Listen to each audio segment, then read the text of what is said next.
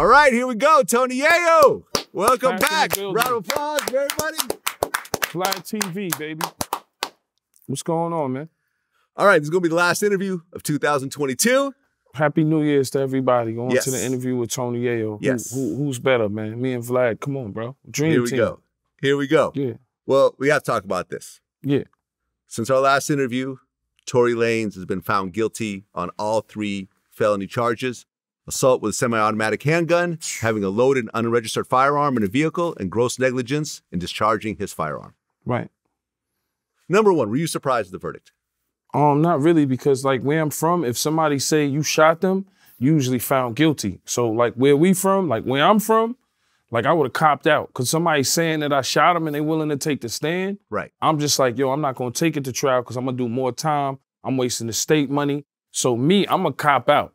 So you never really see shit like that. You know what I mean? You never really, you know what I mean? Witness like, you know what I'm saying? Witness like people or somebody saying that you shot them Yeah. and you taking it to trial. Like that don't really happen in the hood too much. Right. I mean, people, you know, I did all of these polls and people like, oh, he's going to get off. Uh, Kelsey shot him. Uh, Megan shot herself.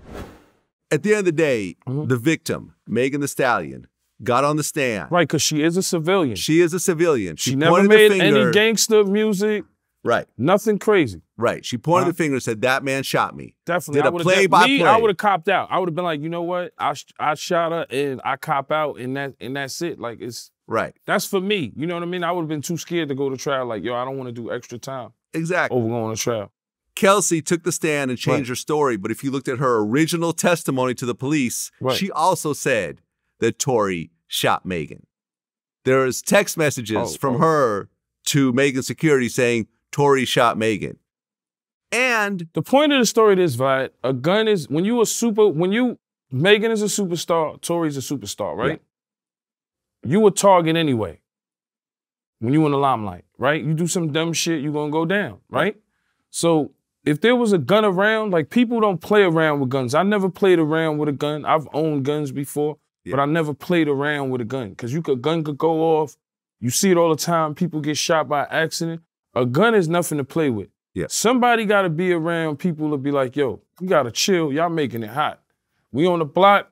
Whatever happened, it just it's it's an unfortunate thing. Cause he's going to jail on Christmas. Not saying he's in the wrong in the right for what he did, because where, where I'm from, like I ain't never heard nobody really shoot a girl. Like you shoot niggas, but really don't shoot girls. So it's it's a strange case. If he would have shot a nigga, niggas probably wouldn't have cared. They would have been calling the nigga more of a rat, but it's a female. And you know what I'm saying? And sh- she got hit in the foot. It's not an attempt murder. So for me, I probably would have just copped out. Not saying, you know what I'm saying?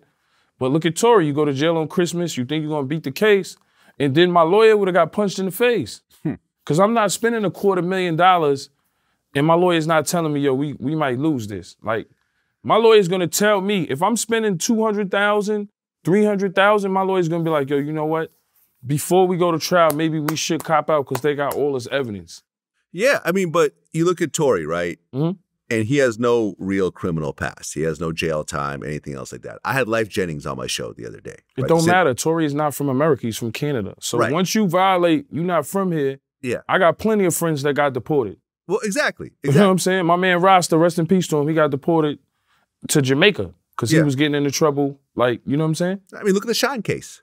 The, the Shyne case has a lot of similarities. Yeah, you're gonna get To this deported. Yeah, case. you're gonna get he shot off a gun during an argument. A girl got shot in the face. Just like if we go to Canada and do some dumb shit. Like, yeah, you'll you get know what I'm fucked up, saying? right? Yeah. Shyne did. I think he got Yeah. 10 years or 11 years. And as soon as he got out, what happened? Deported to Belize. Right. You know what I'm saying? But like, for example, I had Lyfe Jennings on here the other day, right? And Lyfe Jennings did like 11 years over, uh, you know, a murder that happened that he was, you know, somewhat Right. involved in. Okay. And I remember he told me this whole story about his uh, his little cousin. His little cousin caught a body, Yeah. and they offered him 11 years Mhm. as a as, a, as a, a plea deal. But his cousin never done any prison time, so he's like, "Oh fuck, that ain't doing all that time, whatever." He pleaded his cousin, "Please take this plea deal." Blue trial, doing life in prison. I mean, that's how it happens. Like a Right. lot of people, you got to underthink the average case. If you catch a body, it might cost you the fifty thousand, going to a hundred thousand. So a lot of kids don't have that. So you see kids out here that catch these cases and they don't have the money for for the legal team to get them at least less time if they found guilty. Mhm. But it's all a game. I mean, from your point of view, because there was at one point in the trial where he could have taken the stand, Right. and he decided not to take the stand.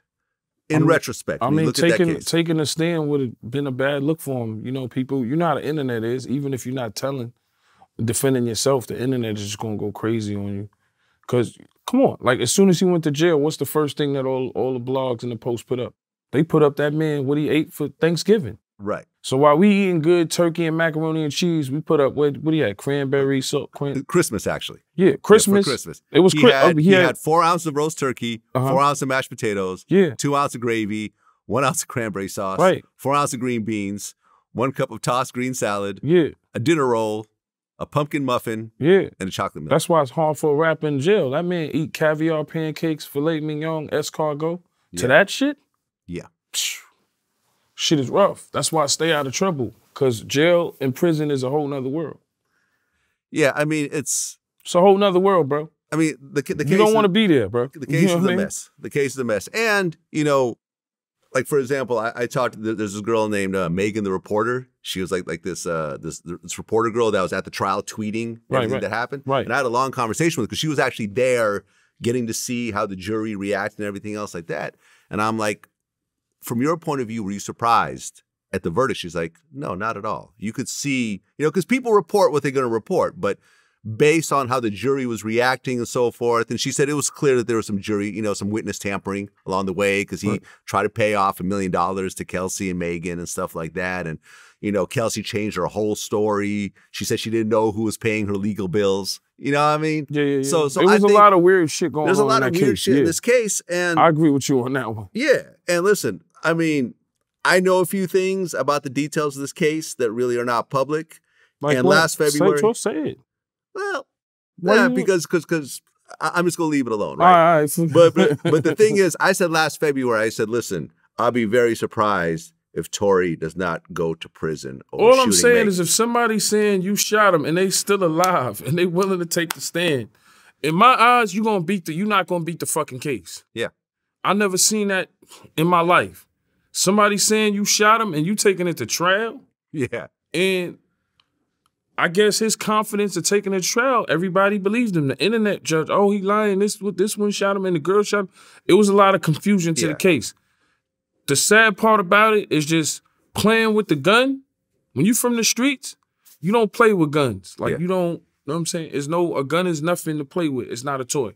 And some unfortunate happened because they said she got hit in the foot. Wrong or right? She got hit in the well, foot. and that's established because the actual doctor got on the stand, who took out the bullet fragments, Right. showed pictures, showed that she still has bullet fragments in her. It wasn't glass; it was actual metal fragments. Right. And that's so that. she got she got popped. So I mean, to me, she's a civilian. Like I said before, there's a difference between a man telling and a woman telling. Unless a woman takes down like a whole cartel or a whole mafia, that's different. But if she looks good and attractive and has a nice body, somebody's gonna still mess with her or be Right. cool with her, or or be. It's not a big deal. Yeah. You know what I mean? If she's a street chick, she'll get a pass, and if she's a civilian, she gets a major pass. Megan Thee Stallion is a civilian.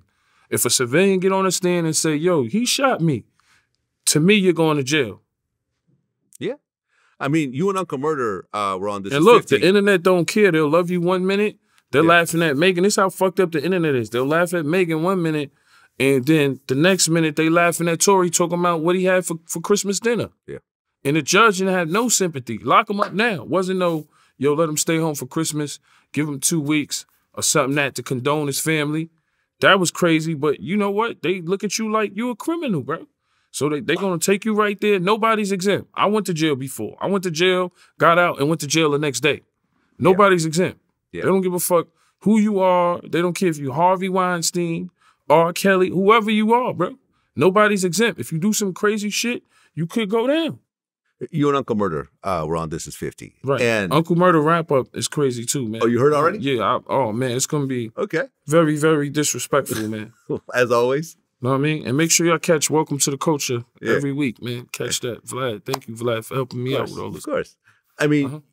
you and Uncle Murder were somewhat arguing because Murder was saying how, you know, Megan represents the streets and she shouldn't have cooperated and so forth. And you were like, nah, she's a girl. She's not a, a street person. she never like, made a street record. She never made a aggressive record Yeah. like talking about shooting, killing, or anything like that. Like Murder said something like Twerkulator, and Twerkulator is not even a her record. It's the I think it's the City Girls. right. So I'm like, Yeah. Murder, you don't know what you're talking about when it comes to uh, Megan Thee Stallion. Yeah. You know, she's just, you know, she's she's an icon out here. My daughter loves Megan Thee Stallion. Right. She was a college You student before she started rapping. Yeah, I always, I always, I told Show Money years ago when Nicki around the time Nicki came, because I, I remember when Nicki was fresh out, but Fendi, I felt like Fendi didn't want us to get near her. Like, like Nicki was one of the first ones that paved the way, and all these female artists coming now is just Cardi B. You got Latto, you got Rico Nasty, you got you got a lot of girls that are kind of underground too. Like my daughter put me on to that are like fire too. That got bars. You know what I'm saying? Like the female rap is big right now and it's back. And you know, you love it. I mean, if you look at the situation Mhm. and you take the gun out of the situation, Right. nothing would have happened. It would just been a fight, maybe yeah, it would have been a fight. and it would have been and nobody that's no what, one would even know about it. This is what I said in the beginning of a conversation. A gun is not nothing to play with. So Yeah. whatever which way it got in the mix with Tory, Megan, and Kelsey, and I don't like to talk about other people's business, but I like coming to the show and fucking with you. But a gun is nothing to play with. Yeah. So me, if I was there, I would say, yo, let me be the calm down factor, and then I gotta worry about you having a gun because this could go off any minute. Is there one in the head? Like for real. You know what I'm saying? And where did the gun come from? Did it come from the security? Did it come from hit? That's another thing too. So there was a lot to that thing, but a, a gun is like definitely nothing to play with. When you have a gun, you're responsible for every bullet in that gun. Yeah. And you know, I've had long conversations with like close friends of mine who used to carry a gun everywhere they went. They wouldn't go to the corner store. And you see it every day. You see people shoot themselves. Yep. Because I know people that shot themselves. You see people shoot their friends by accident. Mm-hmm. You see people um shoot they um they um girlfriends by accident. Like so, a gun is like nothing to play with. Like you know, you never put a skirt on your gun, put a dress on your gun, got to show it off. Like when my era, we never did that. We don't play around with guns. Like it's one, for one thing and one thing only. You understand what I'm saying? So playing around with a weapon is a dangerous thing. Yeah, and, and think about it just as a man, right? How many men who have a gun on them will take a high degree of disrespect and walk away from it? You know what I mean? Like, it, like I could just, I could think of two situations in my life that if I had a gun, I would have killed the person. And luckily, I didn't have one at the time, and I'm able to walk away from it. You see what I'm saying? Without without having to deal with the repercussions. Now, could it have been self defense? Who knows? I mean, it depends on Who knows? uh, to me, it depends on geographically. It's different because in New York City, if you shoot somebody, there is no self defense here, right? exactly. But when you go to Atlanta and Florida, stand your ground. So if a motherfucker do some stupid shit, you know. Yeah. You know, and some people are right. uh, They just had a dude shooting out the Lambo. They just arrested him. I seen online. Like, you know, shit is crazy out here. Sometimes like a weapon ain't nothing the plate, and people are gonna call at it. So it's like you got to be careful what you say, what you do now these days, because the the feds they got Instagram, they got everything. They can see everything. It's like it's not even. yeah. It's different. No, I mean they actually in, in the trial they actually played like security footage from houses in the area where you could hear the gun going off, and you know they know exactly how many shots, Right. the, the the time that passed between each shot. Like a neighbor came out and testified what what he saw. Like, no, I I think Tory man, he's not he's not a street guy. He's a he's an artist. He's a singer. You know what I mean? No one looked at Tory as a tough guy. But when you have money and power, I mean, it could it could turn you it could turn you semi tough. I'm not saying he's not tough because I I don't know what He's work- five foot two. I don't know, but I know niggas that's five foot two that that got that got the little man complex and to cut your face. Well, I, I get that. You know what I'm saying? I, I get that- that. So But they usually have a reputation for that kind of thing. I've Yeah, never heard. right. No, I've never heard nothing about Tory Lanez apart from him punching August Alsina after the fact. Like you know what I'm saying? right, like I've right. never heard of nothing about him being a gangster, a tough guy, a criminal.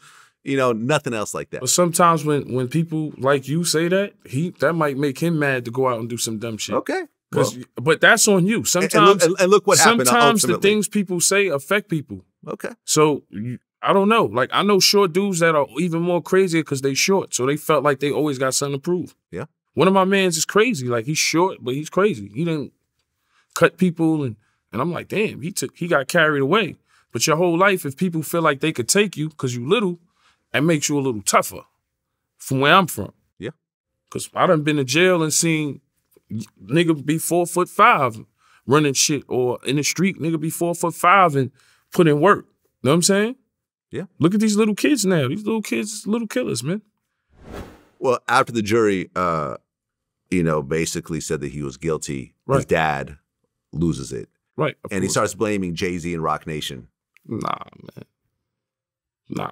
That's that don't make no sense. Yeah. Blame Roc Nation. Hashtag blame Roc Nation started to trend on Twitter. I mean, I'm I'm I, I can't my opinion of it is, man, like I said, a gun was in the play somehow, right? And something reckless happened. That's it. And it's a terrible situation that Megan gets shot. And Tory, you got a wonderful career. You're a great rapper. You know, a lot of people in the world love you. Got fans that you got to go to jail before Christmas, but you know, you got to face that iron curse someday when you do something. That's what 50 grandfather told me years ago when I was on the run. You got to face that iron curtain someday. It's just the realities of going to jail. I've been there before. Like I told you, I went to jail and went to jail, got out and went to jail the next day. That's probably like in the history has never happened in hip hop. That was where the And passport the thing. issues and the issues we had, like with G Unit, like hip hop police was damn near created because of us. Following us home, Superman jumping out the car, curly top. Like we had hip hop police following us. They do you think they not watching rappers still? This hip hop police in LA, this hip hop police in Miami, this hip hop police in New York, bro. It's just new faces. A lot of them old school dudes retired. Hmm? What's it like for a rapper in jail? Not prison, but actually in jail. I mean, it could be rough. It, it- you know, I mean, it could be rough. You know what I'm saying? Like, cause it, people are not used to the conditions. Like, it's no more you you nobody. You just a number. They gonna make you feel like you're not R. Kelly or Bill Cosby. They trying to make you feel like you just a number and that's what you are, just like everybody else. And that's the harsh realities of going to jail. You know what I'm saying? I've been on the island. I nah, you just a number. Motherfuckers don't care if you get out of line. Motherfucker will get out of line with you too. They don't care, and then you more of a target because people. Come on, L.A. County. You know what I'm like. You seen they put up his his meal. Yo, Tory Lanez in here. That's the talk of the jail. Now everybody in the jail got something to talk about. So the whole jail is talking about Tory Lanez in L.A. County. Just like when I was on the island, the whole jail. Yo, yeah, on the island. I used to hear stories about myself. Yo, yeah, yo, got cut. And I'm on the bus listening to niggas like, they don't even know what I look like. Uh, Word, he just got cut in the, in, in, in the three building. And I'm sitting here listening like, oh shit, these shit's crazy. okay. Well, I remember you mentioned uh, when you were in Rikers, Flavor Flav actually created a meal, I remember it was the jelly jump off. the jelly jump yeah. off. What is the It- jelly jump jelly off? Jelly jump off is like it's like a French toast with jelly in it. And it's like grilled like French toast, but it was banging. Like those, they were selling like hotcakes when I was on the island. Mm. So I, I always remember that. That was like some good shit. Shout out to Flav, man. Yeah. Well, what else is happening right now is the YSL Rico case. That's still going, and a bunch of people actually just took plea deals. Uh, Gunna was the first one, but then like Young Thug's brother took one, uh, Lil Duke took one, a bunch of other dudes Right. that you know other people aren't really familiar with. Right. I don't me, I thought about this for a long time just watching this case, right? Mhm. Cause cause that like I said, that case was like uh watching uh OJ Simpson or watching, you know, something the, the Megan case and the Thugger case were the biggest cases of the year. Everybody, if you got something to do with the culture or you you watched it, or even if you don't, everybody's watching. But it's hard to call somebody a snitch without the paperwork. But I think when that video came out, because remember, Gunna got out, and I love Gunna music. I love Thugger music. Gunna got out, you know, he had the bad chick with him, jumped in a $200,000 Maybach. Everything was all Gucci, you know what I'm saying? But two minutes later, what was that? Probably like an hour later, Yeah. the film in court came out, and, you know, of course, his lawyer wrote that. He didn't write that. His lawyer probably wrote that. But now in these days, when you got the camera, it just look like, you know, they're gonna say, you pushing please. We ain't fucking with Gunna. Because I mean, in this business, if you turn into a rat, it's kind of like career's over. Well, I remember when we had posted it, and I remember making a couple tweets about Gunna, basically saying, "Look, by him pleading guilty and saying that YSL is a gang, it's a criminal organization. Right. I've seen other members do crimes, you know, right. in, in pursuance of that gang and so forth. I'm like, okay, this is clearly going to be used as the overall people, RICO. But then a lot of people was confused and they were saying, well, what Thugger saying? Did Thugger tell him to take that plea because he feel like he not coming home? We, we don't, we don't know. Could, yeah. Thugger could let his nuts hang and say, yo, you know what? Just take this plea. If that's the case, if he told him to do that, you know what I'm saying? Because there's a lot of confusion. We don't know. It's just the internet is gonna have two sides of the story. But the video in court, when you saying, yo, is YSL a gang? Yes, ma'am. Is this a gang? Yes, ma'am. Was the guns in the car not yours? Yes, ma'am. You know what I'm saying? That was part of his plea. Me, yeah. I would have rather sat a little longer because I was only in there for a year. I would have sat a little longer than coming out to, to what the internet do to you. Yeah, because Me, that's just my opinion. Yeah, well, because uh, it, it how long he would have had to probably sit? Another year or so? Well, the trial's supposed to be coming up in January, allegedly. Allegedly. January's right here. But what I'm saying is, look, was his to you? Let me ask you this question. That wasn't a good first day out for him after that came out. Yeah. For me, and I'm a, I'm a, like I said, I like Gunna, I like Thugger, I'm a fan. A lot of niggas in ATL, they got, you know, they had the game on Smash for a minute. So, but that first day out, him coming out with the bad bitch and the Maybach, yeah, it was cool. But once the internet got to him with that push and please shit, that shit was a fucked up first day out, bro. Well, whoever recorded that, uh, if you didn't see that, I think if people didn't see yeah. that physically, but like, yo, he took a plea but didn't know what the plea was about, I think he would have been a little better than people seeing that actual video. Whoever recorded that shit, that shit kind of um, hurt him a little bit. Well, his lawyer reached out to me, uh, Steve Sadow. You know, damn, and, you and calling was, big shots. His lawyer cool. Oh yeah, his lawyer called me directly. Shelter, oh yeah, no, he, he DM'd me, and then uh-huh. we got on the phone together, and we put out essentially a statement from the lawyer. But you didn't think you should have said to his lawyer, "Yo, why why is there no cameras in here?" I mean, I think that's what would have been a little bit better for him because we he he we he I already heard seen the statement. His lawyer said he's not yeah. going to testify. Cool, right? We lawyer, dig, everybody yeah. dig that. But when people see that on camera, like I think that that was like the major blow. When they see right. You know, well, I mean, you could film trials in Georgia. That's the whole thing. New York is different. L.A. is kind of different. It's kind of a well, case they should have fixed that. You should have had your lawyer say you don't have no cameras in here to make me looking like crazy out yeah. here because the internet's gonna eat that shit up. They got to be a way because you you didn't see none of Tory and Megan shit. Well, that's because it's L.A. Right? It's L.A. No cameras in LA. Oh yeah, Georgia. I mean, I mean, you've seen like Young Thug in court already, like leading. But you didn't see nobody really recording nothing on that case until that happened. No, no, no. That case, like I've been seeing Young Thug in court now for months on video. Oh, okay. Yeah, Georgia's a little bit different. Also, it's a state case. Like feds don't let you record, but for example, state cases is basically based on the judge and also based on the city and state. So in this particular case, Cameras are allowed in it. And the lawyer reached out to me. He goes, listen, the way I set up his plea deal, yes, he admitted to what he ple- you know admitted to, but he can't be used in other people's cases. He's not going to hurt anybody. If he is called to testify, he's going to plead the fifth. So there's no way that he could hurt anyone so else. So it sounds like forth. his lawyer's official. He's calling you saying he's not so gonna they ain't tell. But you you know, I mean, we'll see what murder say on the wrap up and certain shit. Cause to the streets, they like, you know, I'm just saying the video was crazy. Okay, so from your point of view, my point of view is if the lawyer's calling and vouching and saying he's not going to testify with, with none of this shit, I I still rock with Gunna. But the streets, the video, niggas ain't trying to hear it. Yeah. So like, when I ask niggas, so yo, what you think about Gunna shit? Yo, you fucking with Gunna? I ask mad niggas, nah, nah, nah, nah, nah. Okay. I except for my nigga Light. My nigga Light was like, fuck that. Gunna for life. you know what I'm saying? But I don't know. I just feel like the internet now, I ain't going front. Them, the internet don't play. The internet is undefeated, bro. Yeah. Yeah. I mean, even if he didn't tell, yeah. that video was damaging. The video was damaging. That's if if if it feel like it because what was being said. Yes, man. Yes, man. Motherfuckers have a field day with that. Just like they love Tory. Oh, yo, Tory didn't shoot Megan. But once his fucking jail course come up, how you think he feel? That's like a nigga being on an island and be like, what Tony Yayo had for knock on wood?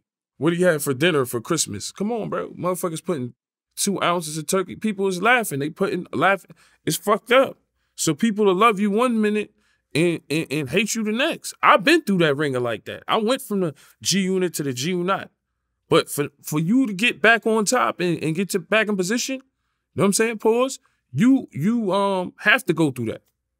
I mean, do you- Hopefully he don't do that much time. Hopefully, but see, that was the cop out. He could have probably copped out.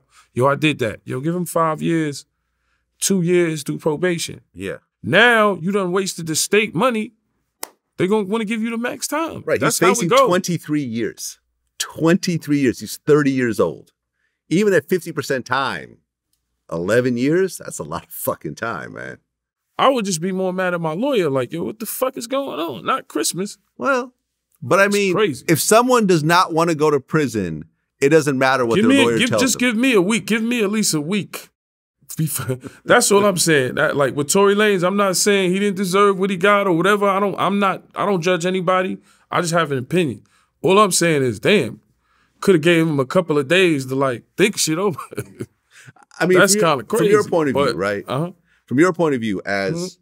part of a a group of street rappers, Right. right? Mhm.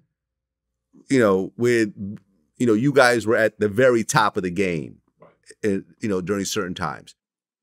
Gunna, before you went in, was considered one of the top rappers Definitely, in the game. sure, yeah, for sure. Pushing. P was a yeah. huge song. it was a phenom, yeah, Gunna whatever, right? Hits. Gunna's definitely fire. And, and these are YSL was a crew of street rappers. oh yeah, they was fire. They had fuck the rats, yeah. fuck snitches. You know, Yeah. we're really out here.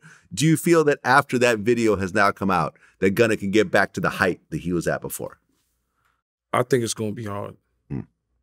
Cause the streets are so judgmental. The internet is such judgmental. They don't have no mercy. They have no compassion. The internet has no compassion for you. They don't give a fuck. You could be on top. Once you fall on your face, they'll enjoy it. Like you, cause they go, cause a lot of people look at it like this. A lot of people don't have. There's more people that don't have that do have, right? Yeah. So if you're in a position where you're making millions, the motherfucker that don't have is like, that stupid nigga or that stupid bitch, I could have been in that position. I wouldn't have fucked my money up like that. Cause me being around a nigga like 50, if some a situation would have happened, yo, yo, shot a girl in the foot. Man, that nigga stupid. Hmm. He'll help you with your lawyer money, but in his back of his mind, that nigga's kind of dumb for even putting himself in a situation. Cause when you come from nothing, you appreciate what you got. Wrong or right, right? Yeah. So so when you look at Tory's situation, if, if he didn't do it, he got found guilty of doing it, right? Yeah. And now he's facing mad time potentially. That's kind of fucked up, but that's what happens when dumb shit happen. Or you do dumb shit. I'm just keeping it real. Yeah. So you gotta always think nobody's exempt from jail, bro. Cause your freedom is worth more than any kind of any dollar in any world. There's motherfuckers in jail that wish they could be in a Tory Lanez position, could be, oh shit, I'm hanging with Megan and Kylie Jenner and them.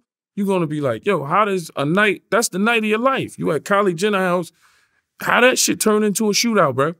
Cause people dream of them nights. There's people that that would love to be in the position you are and and and would appreciate that shit. Yeah, I mean, I did wild shit before, but I realized, yo, bro, I beat the odds. We had beef with a lot of niggas, went through a lot of shootouts, niggas trying to kill you, money on your head. I beat the odds, and I thank God every day, like, oh shit, beat the odds. Huh? Yeah, I mean, I had TK Kirkland on my show the other day, and he basically broke it down. He said that Tory was just not enough of a player to pull off sleeping with two girls and having them both in the same room with each other, and then trying to holler at a third girl, and then everyone's drunk, pissed off. Like he just wasn't that dude to try to handle that. Tory's not smooth enough to handle two women like that. He just happened to be him. He got lucked up. It was fucking Megan, fucking Kelly. He thought he was on some player shit. Then you go to another event and mess with somebody else. All those rules are bad. Yeah, he's five foot two. Five foot two, all those rules are bad. One, you don't bring two women that you're fucking in the same room together unless there's an understanding Right. that both of y'all fucking. But I mean, Like- you know, money and power. When you a superstar, like when we first came out, I thought I remember I remember when uh, all the Jimmy Henchman shit was going on, and and one of the hip hop police said to me, "You think you unstoppable? You think you in- indestructible?" And I really did. I didn't give a fuck. I had money. I had bulletproof cars. I had beautiful women. I flew the world. My whole life changed. Came out of prison. Lived in Battery Park. Had houses, condos. Sometimes power gets to your head. I admit it. It gets to your head. You take a motherfucker off the street, right? You ask one of these drill niggas, yo, what's the first thing you're gonna do in your money? You know what I mean? They're not. They're gonna say, man, I'm gonna invest in the block. I'm not gonna invest in real estate. Mm. When and then once they invest in the block with a million dollars, the RICO, the feds wait watching them. Uh, We know what he did. Yeah. Or his crew guns and fucking work. That's why the smartest thing 50 ever said, just like the mafia, deal drugs, stay away from me. Hmm. No drugs. You can't be in this business, be a rapper, make hundreds of thousands, flip that and buy bricks and don't think you're not gonna be on the fucking radar, bro. Somebody's gonna say something. You're gonna, you gotta really use your brain in this shit. The street shit, once you get to a certain level, the street shit's out the window, bro. If you look at all the cases that you've faced over the years, how much money was spent on lawyers for you? Not to say that you paid it, because I know 50, you know what I mean, Um, helps pay for shit and Lawyer so forth. fees was crazy, Like man. if you were I to mean- count it all up, I mean, all together. I mean, look, when you look at lawyers like uh, Scott Leemon, uh, Right. Dawn Florio, the top lawyers in yeah, New York. yeah. let's look at the ones that have that stay consistent. Hot. Dawn Florio, Scott Leemon. Uh, I got uh, it's different lawyers for different things. Like I would tell you, all right, Scott Leemon is federal, or he could be state. Dawn Florio is state. She beat a lot of big cases out here with a lot of the young boys. He's very popular. Just beat Zay Obama shit, I believe. Mm. Then you got like a, a Long Island, you got a Bob Macedonio. You know what I'm saying? Um, let me think. Uh, parole, we had Edward Hammock for parole because you know, like how Chef G, Free Chef, and Sleepy. I was telling White like he need to get a lawyer like that that used to be the head of the parole board to try to get them out because they don't want to work, let them out on work release. You know what I'm saying? When they could, they have jobs, they have stay out of trouble, stay in the studio and make money. They should be able to get out on work release. But there's different lawyers for different things. Like if you catch a body, you would call Steve Murphy. You know what I mean? Like it's it's you can't get uh uh have a homicide and call a a a, a just like a, a not a homicide lawyer. You can't get you parole. You need a parole lawyer. It's a Fed case. You need a Fed lawyer. So it's it's just different. But when you look at cases like Tory, he probably spent a quarter million on that, right? And probably thought he wasn't gonna beat it for the money he spent. But sometimes your money don't mean shit. I'm gonna keep it real.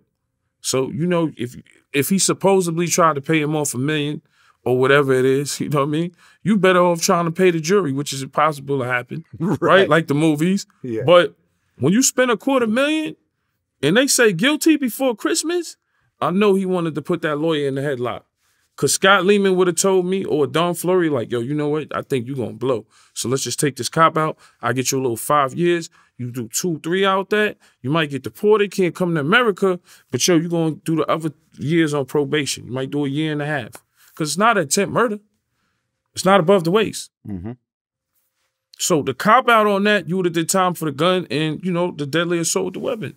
You probably would have got five for that. But now that you blew trail, even though you don't got a record like that, bro, we could you could look up the maximum on on, on the charges. If you look up the maximum, I can you you got the research. No, I You mean, look he's up the maximum? he's facing 23 years. It's a 22 years, eight months on, on a maximum. It's up to the trial. And, and listen, at the end of the day, the judge is going to decide. when you blow Yeah. trial, you, you you waste the state money. A lot Mm-hmm. of niggas don't understand the system. A lot of niggas just go outside and put in work. A lot of young niggas don't understand that. Niggas will go out there, buy hammers, switches on it, and they don't even have the lawyer money if they get caught up. Now you go on a trial with a legal aid. You fucked. So, how Hmm? much have you spent on legal fees? If you were to add it all up, Who, me? ballpark, Over a hundred. over a 100,000. Yeah, probably like probably over two hundred. Over 200,000. Yeah, different. Cause my shit was different. Shit, I didn't have like a big case like Tory. I had, you know, I had bail jumping. Uh, I think we used Mark Gann in um Queens. So I had bail jumping. I had uh what I had. I had the gun charge. I had uh the Fed case. The Fed the passport fraud. It was just different cases that added up to money. You know, but half of the time, I'm gonna be honest, 50 took care of that shit. Like I never really, you know what I'm saying? Like when niggas call cases, banks, me, fucking anybody. So if you didn't have that 200,000 for the top-notch lawyers, you would have sat in jail way longer. Yeah, a lot of shit would have happened. Like like with Edwin Hammock, I wouldn't have been able to go on tour. That's what I was saying with Chef and Sleepy Hallow, because they got skid bids. You know what I mean? If they get a certain kind of parole lawyer, maybe it could happen. Edwin Hammock was the head of the parole board, so he knew what to say to get me the passes. So I got to go on anger management. I was on parole. Mm. You know what I'm saying? Yo, all right, I know the parole board. Dope, dope. Let's talk to the people because this is your way of income. Boom. Well, uh, T.I., a new video came out where he talked about telling on his dead cousin over a gun charge. And I remember last time we talked about Terrence Gangster Williams telling on his dead friends, and you were like, well, did he tell on a ghost or did he tell on a person? To me, it sounds like he told on a ghost. So here we go again. T.I. told on a ghost. Yeah, definitely. He, he, he told on a ghost. I guess, you know what I mean? Like, there's nobody, is you really telling us because this guy is dead? So maybe the feds know that too and just want to play the game with you because the feds are like, they, they, they're the biggest gang out here. Hmm. Like, the feds will, you know, they'll they'll get into your mind. They got all kind of mind control and all kind of shit that nigga will tell, and then they'll expose you to the public. Hmm. Like for that gun and shit, we don't know. That could have been the police recording them, just to you know what I mean, hurt his career a little bit because this shit is based on street credibility. Like this is like the, all these guys, all these rappers, we do come from the streets. From the streets. Like a lot of dudes, uh, like it's it's a lot of dudes that come from the streets. The Kodaks, the Dirks, the NBA young boys, all these niggas are from the streets, bro. So now you got just got a street nigga with money. The decisions he decided to make is on him. Hope he makes smart decisions because you're walking on eggshells.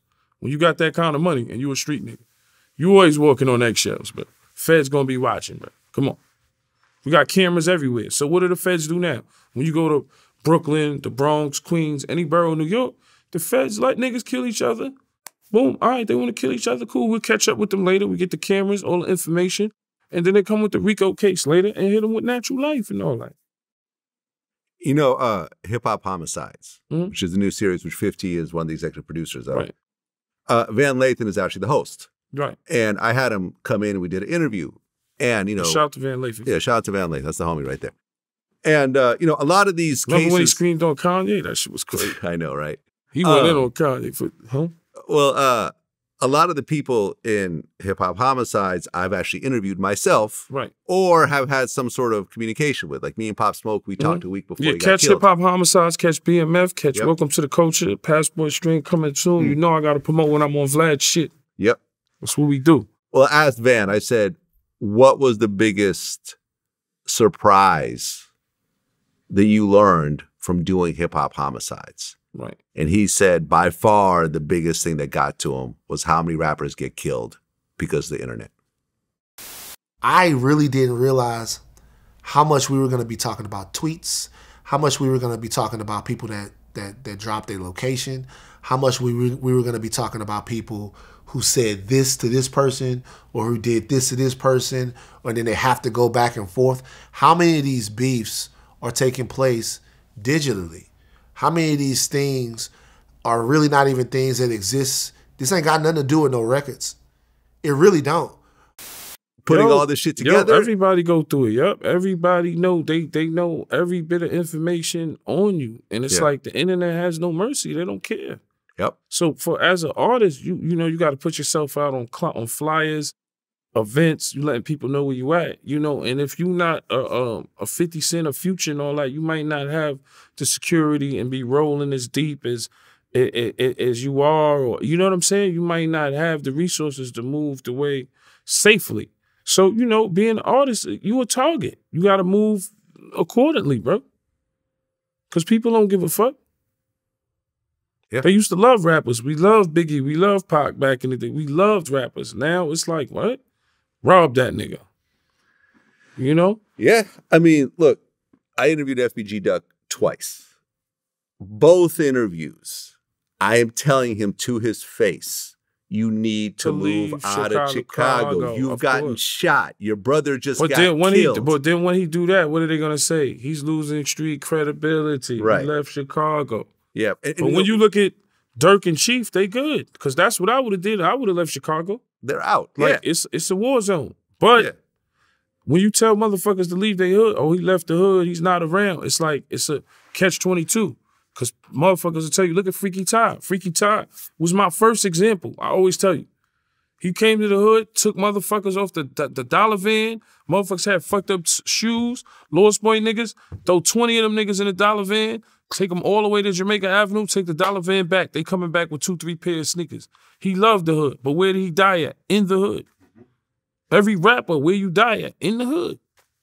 50, he almost got his ass shot nine times in the hood. Yeah. Come on, bro. It'll Yeah. be a stranger to love you m- more than your own best friend. Well, yeah, and I remember You know you, what I'm saying? you talked I got, about like, listen, I go through that. I got friends that I knew for years. I love. I did. I flew them around the world. Um, they they've been in mansions, condos, you know, threw parties for them, gave them money, borrowed my cars, crashed vehicles, all kinds of things, right? But when it slowed up, they disappeared. When it was G Unit to G Unit, they disappeared. People switch up. It's you just you just learn to live in situations. You think people are really your friends. You get them money, you get them deals. They don't they don't care. Nobody cares. It's all about me, me, me. We in a in a me, me, me generation. It's all about me, especially with the internet.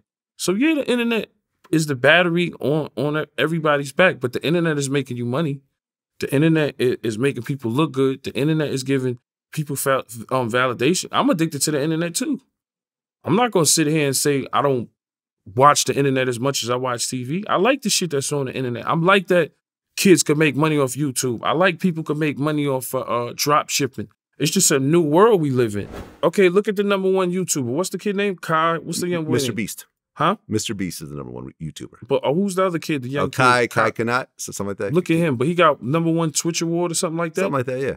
okay, like this is going to a whole nother level. Look at the level you're on, as well as Drink Champs is Math Hoffa now. Yeah. You know, um, Gillie Da Kid. Like, and, and it's my lane. I feel like I'm gonna have one of the best podcasts in the world when I come out. Yeah. I, I really know.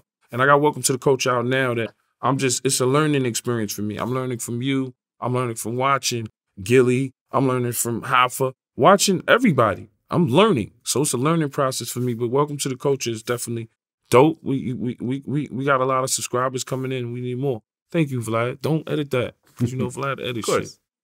shit. You know, I mean, you talk about, I think it was on This Is 50, you're talking about how when you go to Chicago, you're staying at the nice hotels. Yeah, you're flying, you know, you're, you're, you're shopping in the nice areas and so Yeah, forth. Yeah. But look what happened to FBG Duck. But that was a He once, was on the Gold Coast. But look, that he was, on the Rodeo Drive But- of Chicago. But look, that was a once in a lifetime thing. That's why the feds was on that case so fast. Mm. That's like shooting somebody in Manhattan.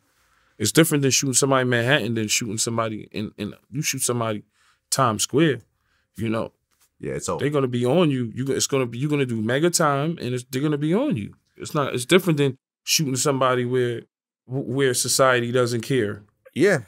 Where it's everyday shit. Yeah, I mean, free so he shot him. Look, they shot him. They had the RICO. They, it was the feds, right? It turned into a federal case. I think so. I'm not sure. Come on, bro. Chicago's a nice place, bro. Let's not make it seem like Chicago is just it's fucked up in one area, like how everywhere is fucked up in one area. New York just has different areas.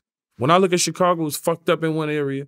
Niggas is killing each other, but they don't. They're not gonna show you condos. They the condos by the water, in in the Waldorf Astoria, and and where FBG with that shopping area. That shit is nice. That shit don't happen like that, bro. In the suburbs of Chicago too. Yeah. Come on, bro. I mean, look, I mean, free tax that- that's my friend, you know, but unfortunately that incident happened in Manhattan. And this is why it's such a big deal. Tax You know? It's the situation is fucked up because it, it it's from the fucking internet. It's from some some dumb shit, and I don't want to talk about it because like it's an open case. I wonder when that shit trial will start because it's like It's been five years. shit. It's been five years. I remember Tax sent me this this video he did Right. at Roc Nation uh, with Jay Z, and Jay Z has a skin fade. now Jay Z has dreads to his shoulders. That's how long Tax Stone, who's my friend, Right. No, it was it, it was it was a sad situation because I, I I love Tax Stone. Yeah. You know, and I did and we did music. I did a song with Troy Ave before, and you know, his bodyguard, whatever happened to him, you know, I don't want to talk on the case. It's just a sad situation. You know what I'm saying? It's just the whole shit, and you know, one nigga's in jail and one nigga, you know. So it's just a crazy situation, but you know, shit happens in the streets, in the industry, you know, and hopefully we could figure it out. Like I never had no no because I know when I have my beefs, like I know when this shit You know, you know what I wanted to ask you? In hip hop, you know, we always say, yo, you gotta, you, you, you, we don't choose a side. Like I never choose a side. You never learn. In the 48 laws of power say never choose a side with that, right? So, but in hip hop, we actually choose sides. You have to. Yeah, even as the media, you sometimes yeah, have you to. kind of yeah. have to Yeah. choose sides.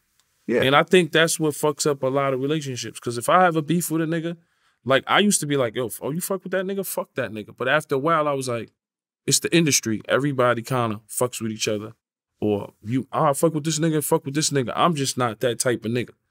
Like, even if, I like I said, if I didn't talk to 50, you ain't gonna see me with any of his enemies, Irv Gotti or somebody eating breakfast. It's one of them niggas like, nah, that ain't me. Oh yeah, if 50 and murder shitted on him in that wrap up. Irv, get ready for that. And by I the way, he was free free Rod Diggs. Free Rod Free Diggs, Rod man. Diggs. Yeah, yeah. I told you one time I was in um Switzerland. Why you say that? Well, because I see some interviews about how you you heard Rod Diggs and oh um, yeah, we was in Switzerland, yeah, and I heard overseas. Rod Diggs, and and and um yeah, because you know Murder has a nice following overseas. Yeah. and as well as a lot of artists. And you know, one day we was in front of a, a nice hotel, and the car pull up, and it was some white boy, and he was playing Rod Diggs and uh, uh um and um and Murder. Mhm. And it, you know what's the interesting about thing about overseas? Like it be Caucasian people, Asian people, you know, people of all kind of races that really know their hip hop. Like I done met white boys overseas and they talk about Das EFX and Jeru the Damaja and KRS One. They know their hip hop because you know the younger generation. It feels like sometimes we're trying to forget the legends. Like sometimes you know when they say, "Oh, these niggas washed up" or whatever. But the legends that paved the way, like you always gotta kind of salute them. So out overseas, that's why I love overseas because they really love hip hop. Because that's what we started off doing. Like we love hip hop, being in the basement, listening to records and shit like that.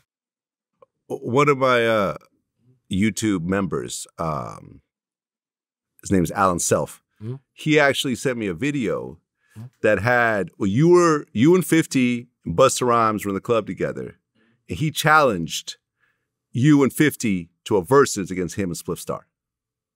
Uh, it wasn't. I, I don't feel like it was a challenge. I, you know, Fifth told him, "I could do this shit better than you." Nigga, such a nigga, know you saying, yo, I'm spitting Busta shit. Niggas just fucking around. But I mean, I think 50's on a level where he'll never do a versus, bro. He's not interested in certain things like that. Like I, I just think, you know, that guy sold a lot of records. He gets a lot, a lot of money. And not saying that anything is wrong with verses. I just think he's not interested in doing it. Yeah, no, I don't I don't think he's gonna ever do it. I, I don't think a there's lot of reason- artists- Yeah, there's a uh, reason it's for him it's a it. dope thing, but what was the last dope verses? That was Bone Thug and who was the last one? What was the last? Mm, I think uh, Dipset and uh, the LOX. Yeah, I was- think was pretty was more of a thing like when we was in the house for COVID, Yeah, like because we couldn't go outside, we was quarantined. It's still dope, you know. Shout out to Swizz and Timbaland, you know what they did, and they make money and you know created a big company. So salute to them, like they getting money. So I can't knock them. But what I'm saying is when we was inside the house for COVID, a lot of things like OnlyFans and uh uh verses. I think it was more like a little more interesting because you were stuck in the house. It Yeah. still is interesting. Like I would check out a dope verses. I just don't think 50 or Bevy be interested in it. Well, I think that if it was an actual versus between, you know, 50 and Busta, I, I think 50 would get it. Just because I think 50 has bigger songs. Right. You know Busta, what I'm saying? Busta got hits too. They- yeah, they he know. Busta has a, a huge amount of hits, but Busta's never gone diamond. Right. Yeah, yeah. It's, it's, You know what I'm saying? I think Busta's a great entertainer. I think entertainment wise, a live show, Busta, I'd probably give the edge to Like Busta. when you look so, when you look at the first weeks of hip hop before before the streams, what was the biggest week? Wasn't it Eminem? Yeah. And I always have this Eminem argument. People are like, I don't they sleep on Eminem, but he's doing what, six point two billion on Spotify still? Uh, we had Eminem, you had no matter if it was Snoop, M, 50, and maybe the Kanye and um 50 week. Those were like the three biggest weeks, first week. Yeah. Remember, Fifth did what a million on Get Rich or Die Trying, right? Mhm. M did a million on his on his album, right? Snoop did a million his first week on. How, how many artists did a million their first week? Look it up. Because I'm artists or rappers rappers who sold a million their first week. First week. Didn't Lil Wayne do it? Lil Wayne possibly did it, but I know it was Snoop, Eminem, I think it was Snoop, Eminem. Here we go. I got it. Eminem, 1.78 million for uh, MMLP. Well, what is that? Let me see. The Mar- Marshall Mathers LP. Yeah, there we Monster go. Master There we go. Yeah, I'm bugging. I'm high right now. And then Eminem is also number two, 1.32, 1.32 million for TES. What is that? Hold on a second. Eminem TES. The Eminem show. Yeah, the Eminem show. Okay, there we go. So the Marshall Mathers, Ma- the Marshall Mathers LP, 1.78 million first Big week. boy numbers. The Eminem show, 1.32 million first week. Big boy numbers. 50 Cent, number three, 1.14 million for the massacre. Big boy numbers. What about Although it said four days, meaning that he didn't get the full week. Okay. So, mm. What about So- what about Get Rich or Die Trying? Drake, views, 1.04 million. Lil Wayne, Carter 3, 1.01 million. Mm. Get Rich or Die Trying. What about uh, Snoop? Should have been on that list too, no? Uh, let's see. Because Snoop did a 50 million this first week. Because I remember it was the first one was was Snoop, Drake. Dre. Trying. s- s- I mean M, Fifty and Snoop. Get Rich or Die Trying did 872,000 copies this first week. Still huge numbers. We give it a mill. Round it up. Just Round it up. What about Snoop? Wh- Which one? Doggy Style? I think Doggy Style did like a mill the first week or close to it. 806,000. Come on, bro. Big boy Those numbers. are actors, big boy numbers, bro. Yeah. Come on, bro. How was it when uh remember because Kanye and 50 were going you know, even like Rolling Stone did like a, like a face to face I cover. was I was the there for that. That was very Yeah. interesting shoot. It was crazy because 50 had his barber, light the barber, shout the light. Mhm. And um Kanye, Kanye had his barber, and his barber came in. He had the Louis Vuitton cape. This when he was the Louis Vuitton Don. Mhm. And 50 was like, I gotta get you some new shit. Cause you know, he had the regular apron. but his his fucking barber had the Louis Vuitton clippers, the shit. It was just funny. It was it was a good week because what 50 did 800 and change. And what what Kanye do? 900 and change? Something like that. Yeah, he, he on, edged him out a little bit, but at the end of the day, two big artists ended up doing huge numbers. Everyone won. I mean, everybody wanted to take a shot at 50. 50 was the number one. You know, even Jay Z talked about it when 50 came through and, you know, crushed the buildings. Like, Yeah. I mean, you know, to sell 1.4 million on the Massacre, and that was the second album. And Get Rich or Die Trying, you could say did a mill because it did eight and change. Like, Yeah. Those are at big boy numbers. You know what I'm saying? Like, it's astronomical numbers, bro.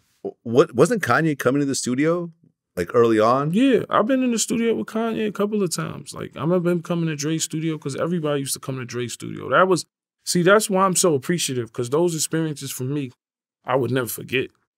Forget the cars, forget the to be in the studio with Dr. Dre and Eminem. Like that was my dream. I remember Fifth calling me, smoking Guido, and Dre is playing fucking in the club beats. He's playing get um um this. I can't if I can't do it, and I'm like, oh, I'm in the studio hearing this shit before it's late. And I'm like, man, this dude is the best producer in the world.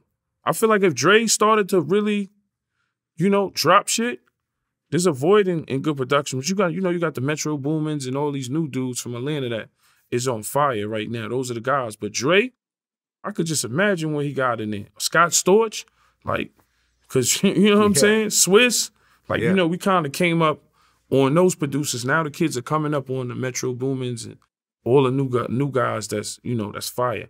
But Dre being in the studio with him at that time, what? And we New York niggas. So I'm like, this is a dream come true. I'm smoking LA weed, never left the hood. You know what I'm saying? Never left 134 and Guy Brewer. I'm in LA smoking that good weed. Dre is playing beats. We on. I'm like, damn, this is my dream come true. That's why I'm so humble because my dreams came true, bro. I might not have as much cars as chains and bitches and rappers as any other rappers. It's not about that. It's about the experience, man. You know what I'm saying? The experience in the studio. Then we in the studio in Detroit. It's cold as a bitch. We out there with Eminem. That shit's crazy. It's just fucking Eminem. This dude just sold 16 million records. Uh, you were in the studio when Eminem was recording? Yeah, we was in the studio with M. We we we were used to go to L.A. with Dre, mm-hmm. and then and then we used to go mess with M. You know, shout to Tracy, Paul Rosenberg. They all treated us like family over there. What um, was it about Eminem in the booth that's different from other rappers? I think I think what Eminem that makes him astronomical is when we was doing Many Men and he was doing production with Many Men because he does a lot of production on a lot of stuff on Get Rich or Die Trying. And it was the footsteps and the shots. And he was like, the footsteps came from Poltergeist. It was crazy. I done seen him rhyme backwards, rhyming pig Latin. So, you know, if- just like Nas, like he's as lyrical as Nas. And then a lot of people say, well, I don't hear him in the club. And nah, it's not about that. I don't hear him in the car. Nah, it's not about that. It's that right now, Eminem could sell out a stadium with no problem. Eminem, what did we say the Spotify numbers was? Well, I looked it What up. was the on, on Spotify numbers? Spotify, he has 62 million monthly listeners. Okay, and what is he? So sixty, we could do the sixty-two million monthly listeners. Yeah. Big monthly. boy numbers. Yeah. Still, and Eminem don't come outside, and you know a lot of people can't relate to him. But as for me, what he did for me, and what I seen he did for Fifty and, and Banks and G Unit as a whole, and um D12 and Obie Trice, everybody went platinum and gold, getting cosigns from him. We had the overseas connection because it wasn't really just Interscope. Interscope was a part of it, Jimmy Iovine, but Eminem is a machine in its whole. Like he might not come outside and relate to other shit that people want to see him, but still, bro, look look what he did with Griselda. Yeah. Because when you look at Griselda, not saying they're not dope MCs. Westside Gunn is fire, Benny, everybody's fire. Conway, they fire, but that Eminem cosign, Oh, yeah. He- when you look at Joe Buttons and Slaughterhouse, like that Eminem cosign i- is is a different kind of cosign. No, I mean, I've said that to Conway. Like, I remember Right. I've interviewed Conway twice, and I'm like, look, like, I'm a hip hop guy. Like, Right. you know, I do hip hop. G Unit would have never. There wouldn't have been no cereal, video game, socks, shirts selling millions. If if Eminem co-signed, it would have been totally different. We Yeah. would have blew, but we wouldn't have sold and did what we did and did as much without that Eminem and Dr. Dre co-sign. Come Yeah, on, yeah. I mean, listen, when I interviewed Conway, I told him flat out, I said, listen, I'm a hip hop dude. Like, I follow, mm-hmm. I know underground hip hop and so forth. I had never heard of Griselda until the Eminem co-signed. And he was like, I know. Me, as who's probably more into hip hop than the average hip hop fan, just because it's my job, wasn't aware of what was happening in Buffalo. But then mm-hmm. when Eminem posted up the picture with y'all, I'm Yeah. like, oh, let me let me check these dudes out. And it's like, oh shit, this is Right. dope. Like, It's you- you probably know what I like mean? that So- for a lot of people. Yeah. right. And that's okay. You know what I'm saying? At the end of the day, that's Yeah. okay. Like it's it's artists that I wasn't aware of until I seen, you know, somebody post them or something like that. So it's like, you know, it's okay. You know what I mean? It's all good. And like I said, man, we and I'm speaking, I can speak for West too. Like we super appreciative and and grateful for for all of the, the opportunities and just for them even fucking with some kids from Buffalo, man. You know what I'm saying? Like he didn't. He wasn't trying to downplay that shit. Nah, like, yeah, I Griselda's know. dope. Like I know. Griselda's one of the dopest groups out there, but that Eminem co-sign made gave him a worldwide Yeah. stamp. Like they might not be playing Atlanta and over here, but they might be playing fucking uh in in overseas somewhere. You know? One of my members, uh, Layzie Bone Two One Six, not the actual Layzie Bone, just someone who named himself. that. All right. He pointed out that at one point, Soulja Slim was potentially going to get signed to G Unit. I think there was something when I got locked up. Cause remember we wanted there was so many people we were supposed to sign. Yeah. Like uh we were supposed to sign Keyshia Cole. Mm. I like I would I would have loved Keyshia Cole. I liked Olivia too, but Keyshia Cole, I, I remember they were saying uh, potentially, I don't know, that was just something I heard. Um Fab wanted to sign. Like, Fabolous. yeah, Oh, Fab okay. wanted to sign the G unit. Huh. Like everybody kind of wanted to sign with us at that point. We was the hottest shit out. And that's how it usually works, you know what I'm saying? Well, I'm going to bring up an interesting story. I'm not sure you were there, Yeah. but this was actually written about in Prodigy's book. Okay. A situation happened in Connecticut with Mobb Deep and G Unit before Mobb Deep signed to G Unit. Okay. Were you there? Um, yeah, let me know what happened. okay, a big fight broke out. So, according to Prodigy's book, something happened between Mobb Deep and 50 Security. Uh, a guy named uh, Goran. You know what I'm talking about? Is was this at a party with a whole bunch of strippers? I'm not sure, but basically, a huge fight broke out. Someone got stabbed, and I heard it was a friendly stabbing. Like like so many people are getting stabbed that someone accidentally stabbed one of their own people. Um, basically, Prodigy described the G Unit entourage like hyenas, the way that people just sort of mobbed. Now, I'm not saying this to start off any new beef because clearly Mobb Deep signed a G Unit and it all got squashed yeah, definitely. afterwards. No, I believe you because you know Mobb Deep, like yo, they had a lot of fights. Like you know, they used to hang with the E Money Bags and, and the Mm. Sherm the Worms and, and the crazy motherfuckers. Shout out to rest in peace to Prodigy. Like they had fights. You know, they hang with super gangsters like E Money Bags, the Sherm the Worms. Like Prodigy was with a lot of gangsters. Like his whole career going into the '90s, them going fights at the tunnel. I remember they fought the Lost Boyz, mad niggas from my block. really? Yeah, they Mobb Deep the Lost Lost Bo- Boys got into it. Yeah, Mobb Huh. Deep and the Lost Boyz. I remember I was on the block because you know I, I used to like to stay on the block when everybody leaves so I can get all the money.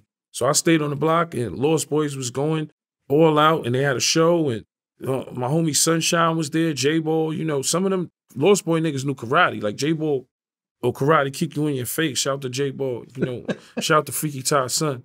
You know, and they niggas came back. They motherfuckers had blood like on. My man had one of them designer belts. That shit had like blood on it and shit. And they'll fight. They said they had a fight with Mobb Deep. Cause you know in the nineties, uh, it, it was you know it had guns, but it was a lot of brawling. Now, motherfucker, it's no fighting. Yeah. So you remember that fight in Connecticut? I don't remember that one. I I had I, I Were you there or were you locked it was in a the time? club or not at the house. That was at the club. It had to be in a club. I wasn't there for that. You I probably was locked up for that. Okay, you heard about it though. I probably heard about it. I just I'm you just refreshing my mind. It just kind of shows the growth where you can get into this huge, entre- you know, uh, altercation with a crew, and then later on, Be cool later. be cool later, sign, As make money as, as long together. as nobody gets smoked, it's all good, I guess, right? yeah, So I mean, what do you think of uh, NBA YoungBoy and uh, Fredo Bang finally squashed their I beef? mean, what they how much money they gave NBA Youngboy? What they gave him? 80, 100 million? 100 million? They well, gave- uh, who, whoever, not not Fredo Bang, but Yo, like listen, whoever. listen, listen. Shout to NBA YoungBoy. You give me a hundred million, I'm gonna say stop the violence too. Cause now he on a whole nother tax bracket. You know what I mean? So it's like congratulations to him.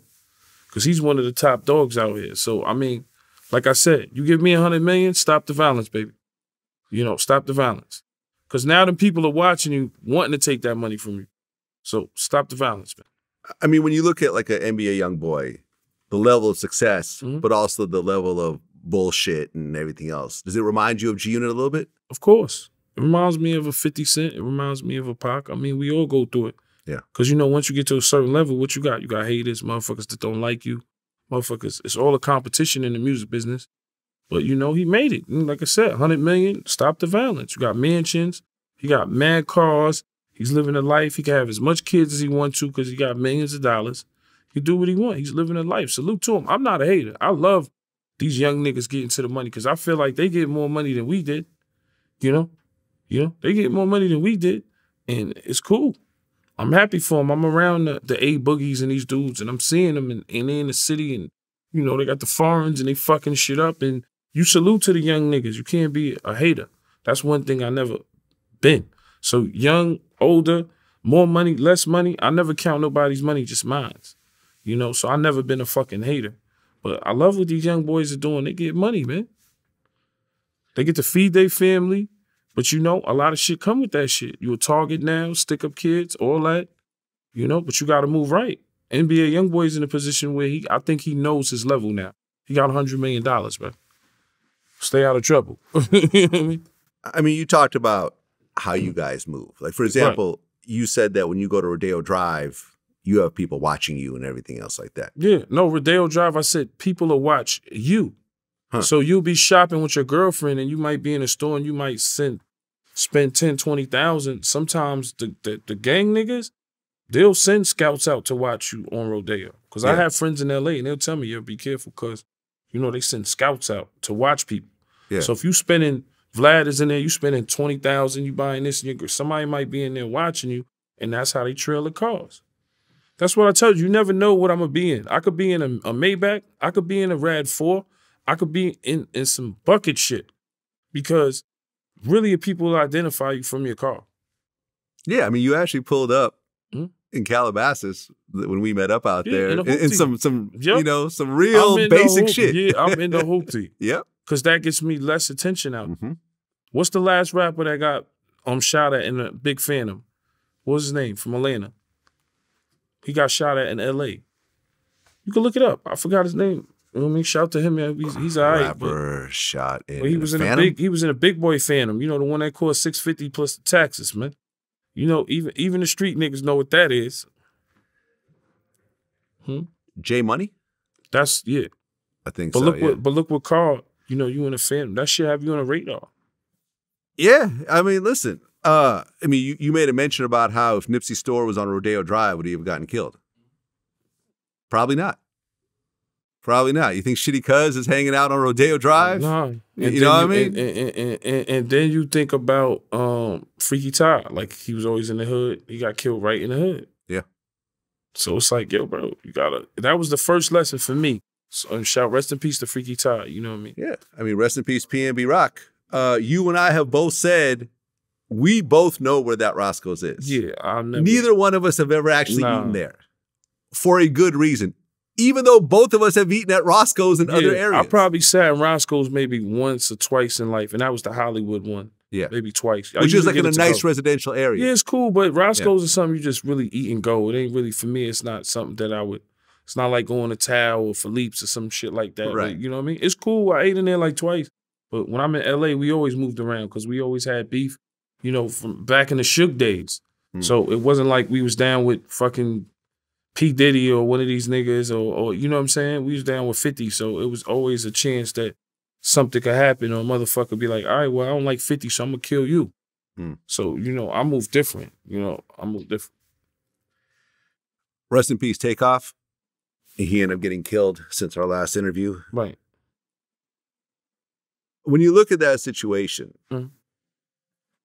he's hanging out with a bunch of Houston guys. They're playing dice Right. Out in the open with looks like about about 100 people around. You know, tempers start to flare. People are talking shit. Right. You know, Quavo said, you know, let me get up out of here before I hurt somebody. right. And then chaos breaks out. Brother, it's a sad situation, right? It's a very, very sad situation, but and, and I'm from 134 on Guy Brewer. I've seen a lot of dice games get ugly. Had a Okay. So you personally, Look- how many people do you know that have gotten killed in dice games? I know a couple. I could say rest in peace, Barry Plato from Brooklyn, 551. You know what I'm saying? I'm tapped in in the streets for real. You know what I mean? Rest in peace to Barry Plato. Ja. That's 50's right hand man. I was around. I went to his funeral. So niggas can't say mm-hmm. out cap. I've been in Brooklyn, been to Starville, everywhere. Ja was the first nigga I knew that died from a dice game. Around my way, I seen niggas get cut. I even had a shootout over a dice game. I took a nigga money he wanted to walk and Okay, I mean? let's talk about the situation because because whenever I brought this up, people are like, oh, you don't know what you're talking about, Vlad. Dice games don't ain't crazy Nah, like that. I got a song called Dice Game Death that I made years ago. dice game death. So tell me about the, the dice game situation that went bad for you. Oh, like we was in a barber shop. I'm rolling dice with a couple of niggas I knew in the barber shop, and my um my man Ha Ha, me and him. Sometimes when you roll dice and you hit a big number, you get excited. So we do the dance, we jumping around, and when you taking the motherfuckers' money and you doing this and you dancing, that shit had motherfuckers tight. They was tight. So so they doing the dance, we doing the dance. Motherfuckers felt the way. We take all your rent money. right? And I knew the nigga. It was we was cool, but I took all his rent money. You know, he he had a little size of me, no homo, and like I took his rent money and he wanted to walk. Usually, like when somebody asks for a walk, that's kind of like a sign of weakness. Like, yo, get the fuck out of here, bro. You know what I mean? That walk might you might want to try to like rob me or something. Like, I give you a walk. What I'm giving you a walk for? Are you gonna give me a walk? So like, say Hold- I hold take on. What, what does a walk mean? a Explain. walk is like if I take thousand dollars from you, Yeah. right? I give you. Can I get a walk? I give you. I might give you back three hundred. Okay. But a lot of times, motherfuckers like, nah, fuck your walk. You want to keep all your money. it's gambling. Right. It's your money. You just want it. Yeah. So I didn't give a motherfucker a walk. We had words, you know, guns was drawn, boom, boom, boom. That easy. Okay. And what ultimately happened? C- can you say or no? Oh, it wasn't nothing. It was just a friendly shootout. It wasn't nothing serious. It was like, A friendly shoot. yeah, it was just no, nobody got Oh, hit. yeah, Luckily, yo. you know, it these was just, conversations. Yeah. it's just a, it Never cease to amaze me. It was a it- friendly it, was shootout. just a friendly shootout. And no one got hit. Nobody got hit. Okay. Did you and that guy become cool afterwards? Nah, Nah. we ain't cool. I know him. We might say what's up in passing, but I don't hang with who he hangs with. Nah, we not cool like that. And there you go. Two people who are cool with each other someone almost dies over a dice game. Yeah, we wasn't cool like that. I just knew him in passing. But you were okay with him. You didn't have beef yeah, we was him. okay. We was okay. Okay, someone that you were okay with, Yeah. someone almost dies over how much money? It was scraps. It was nothing, bro. A couple hundred dollars? It, it it was scraps, man. We you look at a lot of shit where we went to war for. Me and Fifty had this conversation. A lot of shit we went to war for. It was scraps, bro. Yeah. It was nothing, bro. When you look at the money we get now, it was scraps, bro. So a lot of motherfuckers in jail for like petty shit, petty. Right. Because it could have been like a couple of hundred dollars, maybe four hundred dollars. Wasn't Yeah, I mean the rumor it, is it is that definitely uh, wasn't no ten thousand yeah. crazy. No, I mean the rumor over the dice game that Takeoff died in was like Quavo had lost like a hundred thousand or something like that. Like it was it was a bigger amount, but then again, to a Quavo, he could stomach that. It's not worth losing his best friend over. You know what I mean? So- Allegedly had a Alle- allegedly, Alle- well, we don't know, Allegedly but, but they actually arrested the guy who allegedly shot him, DJ Pat. He was trying to flee the country. right. the That's crazy. Yeah, he had tickets to Mexico and a bunch of cash. He was googling, you know, am I a suspect in this murder and all this other type of shit. Um, but yeah, I mean, it's a it's a horrible situation. I did the Migos' first interview ever. I did Takeoff's first interview. Nah, ever. rest in peace of takeoff. But you know, you you know, this is why I don't I don't like we don't fuck with people. Yeah. Like like that's just, you know, it's a terrible situation, whatever happened. You know what I mean? And it's an open case and takeoff is gone, and it's supposedly over a dice game, but at the end of the day, we don't like I don't fuck with people. you yourself, right now in 2023, would you ever have a dice game in public with someone? Nah. Under no Nah, circumstance. I'm good on that. You're good. I, my last dice game was on a jet with 50 in them, on a private jet. Yes. But we having fun. with your We- yeah, a friends in a thousand. closed situation. Yeah, it- the, the game might get up to like 10, maybe 20,000, but it's not going to go to like 150,000 because 50 is, you got to remember, 50 is not a big gambler like that. Hmm. 50's not going to say, yo, I'm going to bet 100,000 or a million on a game. He's not, right. he's not a gambler like that. So being around him, he don't gamble crazy.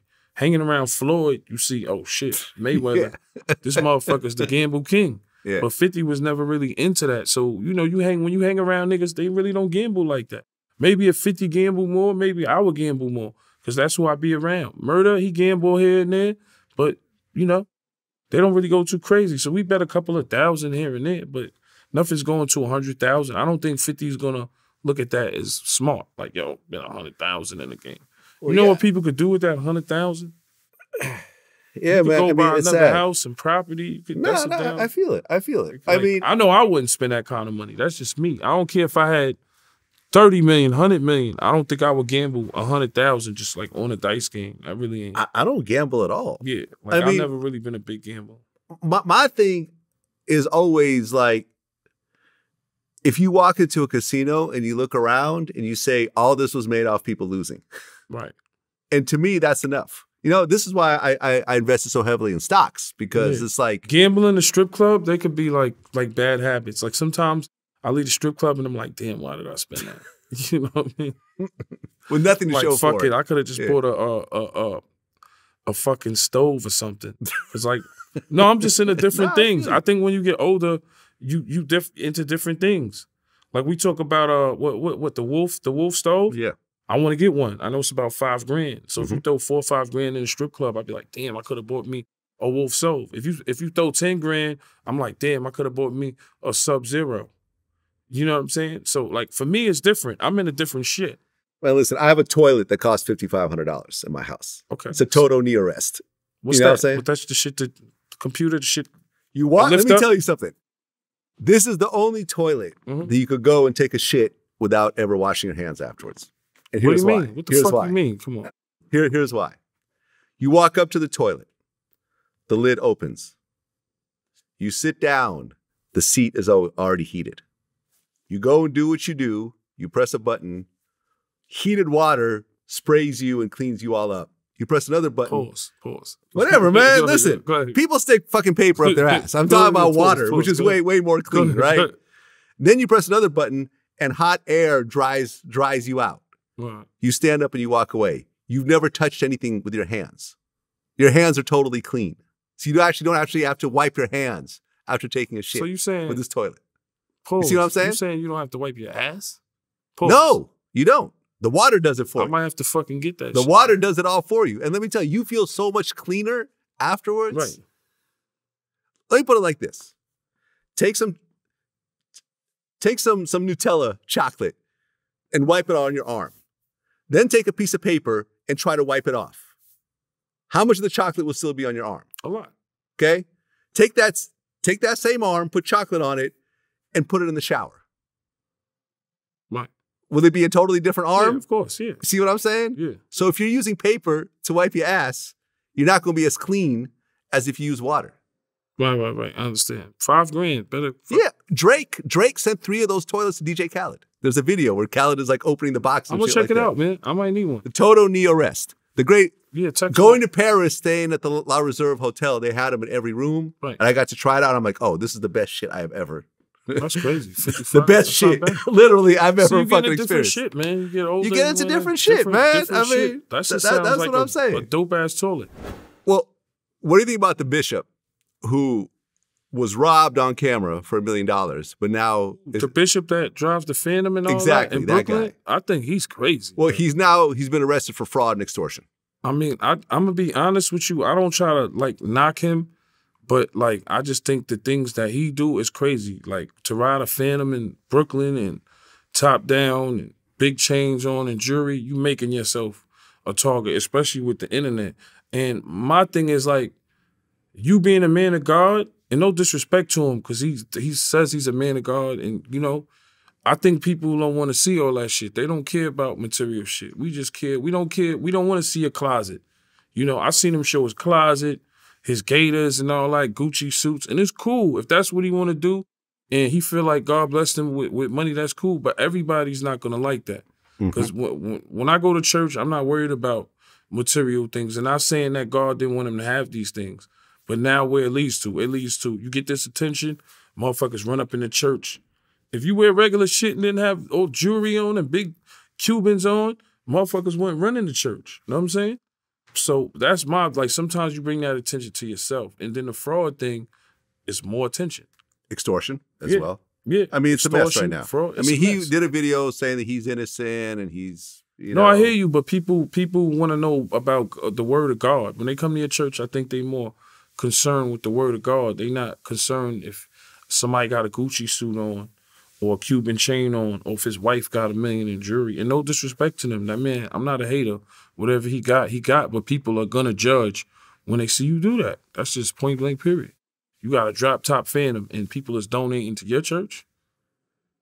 I don't, cause you don't see uh what's my man TK Kirkland and all. You don't really see them really doing all that flossing and stuff like that. Well, TK is not a preacher though. I mean, not TK Kirkland. What's my man? T- TD Jakes. TD Jakes. Let's let's like when you see TD Jakes, because I've done read his book and I caught caught some of his um sermons online and stuff like that. I read his book, but when you see TD Jakes, he got a big following, but I don't see him pulling up in Phantoms or wearing Gucci suits. Nah. And I'm not saying nothing's wrong with that because I don't never want to sound like a hater on this internet shit. But if you do that, you're gonna get the attention that you deserve. Motherfuckers hungry out here at the end of the day. So when I run around, I watch my back too. Know what I mean? Yeah. Motherfuckers is hungry. That's it. You still go to church? No, I haven't been to church in a minute, but I got the Bible on my phone. I I, I have you know, it's been a while for me. Okay, because So- you're a Catholic, right? Yeah. Which is uh, that's a real Haitian thing. You know, Yeah, most yeah. Haitians are yeah, Catholic. yeah. Most Haitians are Yeah. like Catholic. You know, you have your baptism, your uh, your communion, and your confirmation. It's like Haitian law. Like a lot of Haitians are Catholic. Shout out to my parents, but yeah, Catholic church like my entire life. Then Were your parents like super religious? yeah, So my church father, every it, Sunday. it was it was a strange dynamic because we was Catholic, and I, I went to um church, um Christ the King and Queens, and I went to um St. Clair's. Those were the churches we went to. Mhm. So I came up being Catholic. Like my mom's, make sure we had our baptism, we had a communion, and your last step is really your confirmation. So I did all that, and then but the different dynamic is my father was a Mason, too. a Freemason. Yeah, my Okay. father was a wishful master Mason. Okay, I, I'm I, I actually got sworn in as a Freemason, but I never did anything past that. Right. So I guess technically I am, but I don't know anything about it. Right, right, right. Well, my father was a wishful master Mason. Like he was That- That's a high level. Yeah, very Okay. high level. We Yeah. have the robes, everything, always Uh-huh. praying, all kind of prayers and stuff like that. So I started to learn a little bit of that in some of his books, but I never really got into it because I know it's something that's deep, deeper than what, than what you you know Yeah. you think. But my father, yeah, rest in peace to him. He was a wishful master mason, like one of the highest levels.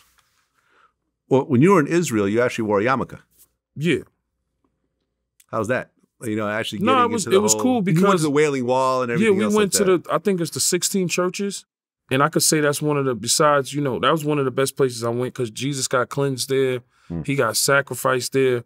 But then you seen all kinds of different religions because there was a Jewish side, there was a Muslim side, Mhm. there was a Catholic side. Yeah. So it was something that was one of the best experiences I've had in my life because people don't understand how serious religion is in different places. Like people go to war, people die over religion, religion, religion opinions, Yeah. and stuff like that. So for us to be in Israel, we went from the Muslim side. Like I said, murder had the Muslim thing on his head, and a guy was like really mad that he had that on his head.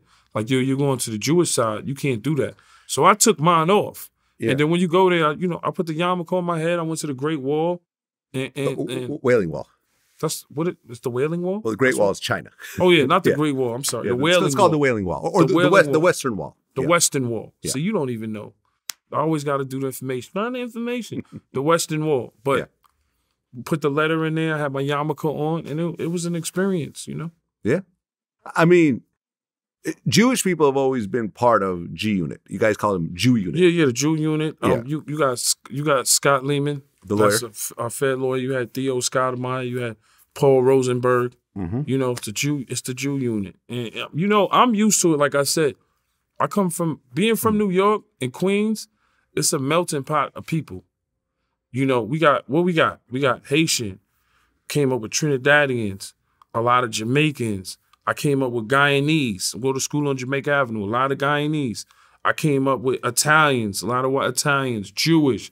So I went to school. It was like a melting pot of people, and I feel like that's how New York is. So like different religions.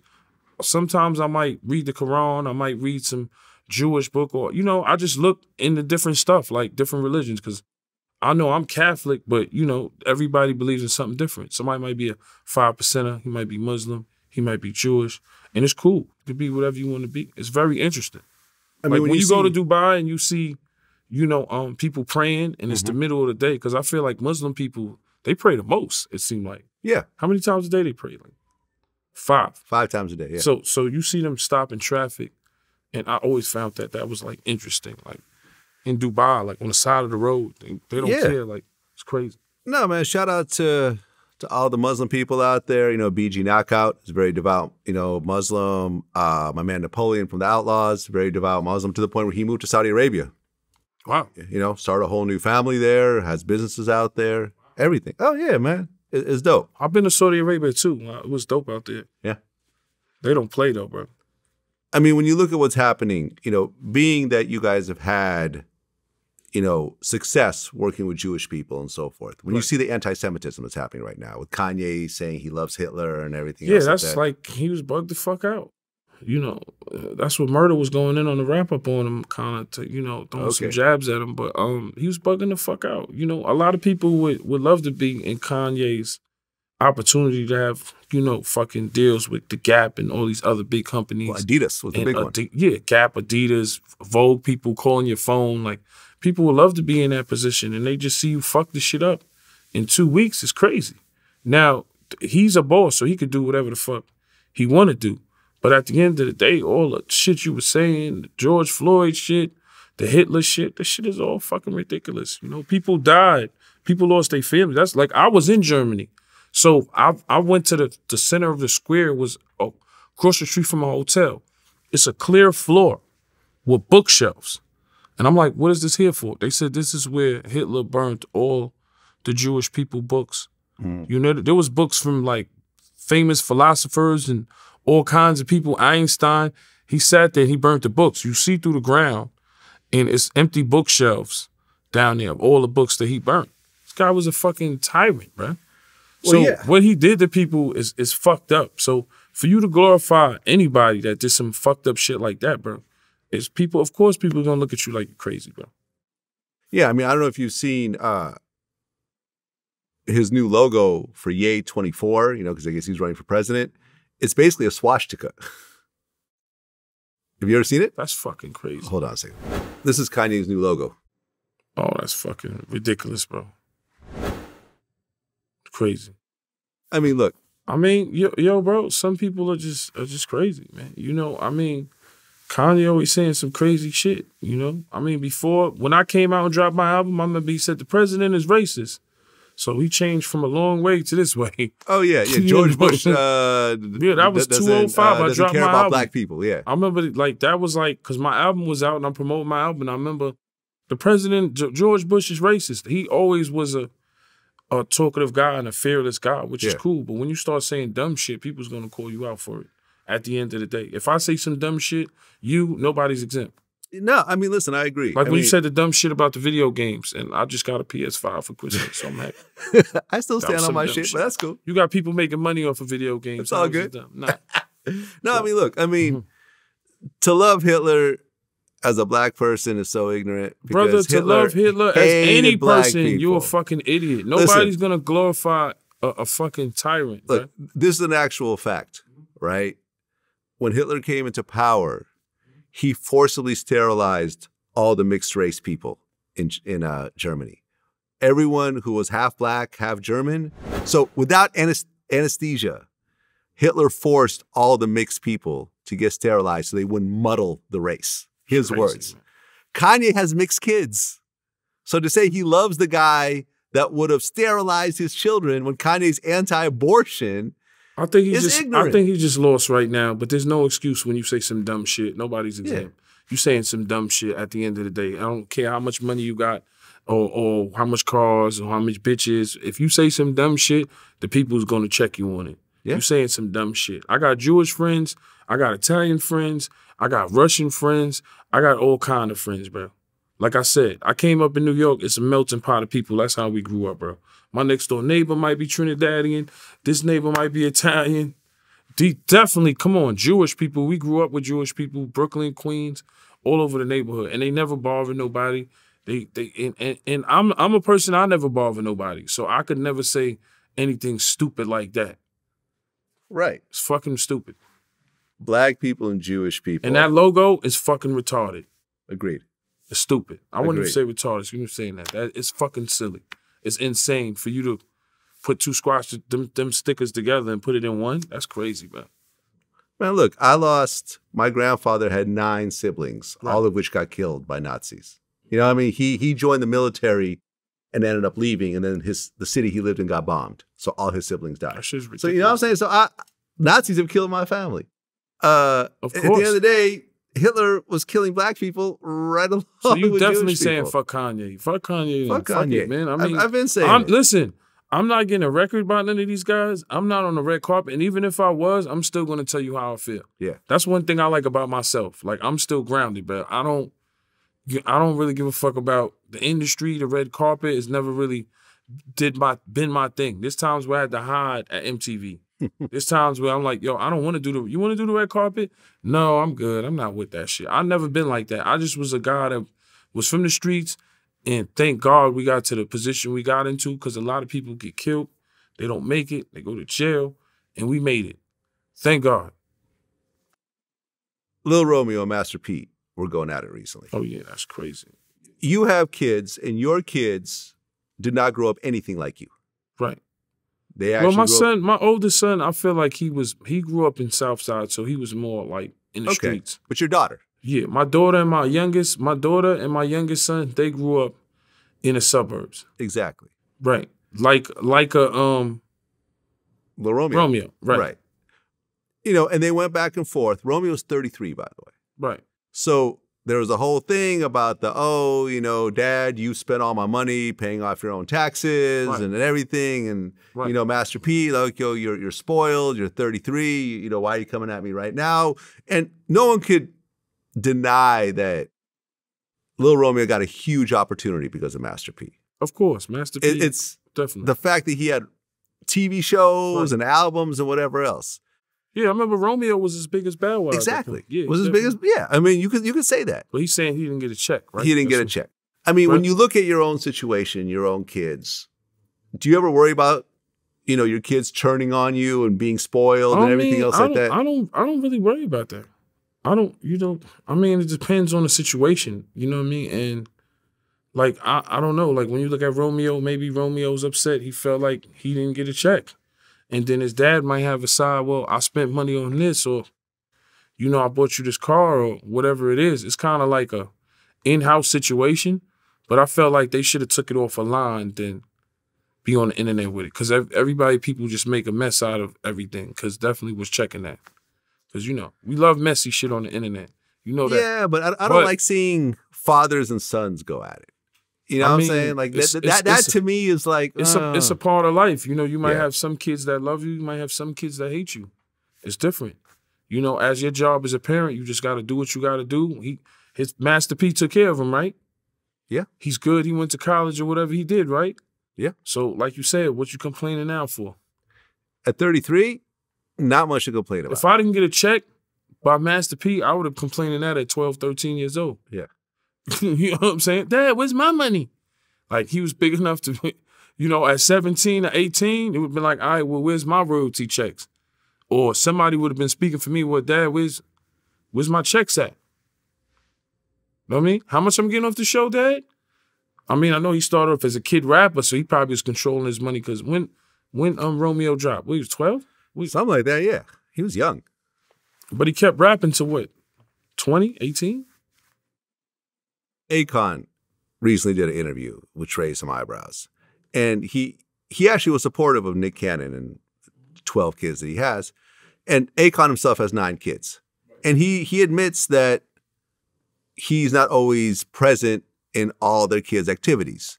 He said, uh, you know, I don't go to every recital. You know, that's a white man's thing. Who gives a fuck about a recital? Right. You know, my job is to raise my kids, to be responsible, to be understanding, protect their mother, give a hand to their father, assist with family planning, and so Right. forth. So if I miss recitals, then oh well. Right. You know, for example, I, I brought this up to Lyfe Jennings, and he goes, "Well, you could say that, but your kids will remember all those missed recitals." They're gonna remember that, you know. And that's that's how I be feeling. Like my goal is not to just uh, provide for my kids because there's a lot of stuff that I turn down because my kids have something going on. I think that my goal is I can never predict or, or make them come out a certain way, but my goal is to be there enough that they understand that if it don't go the right way, then they can come to dad.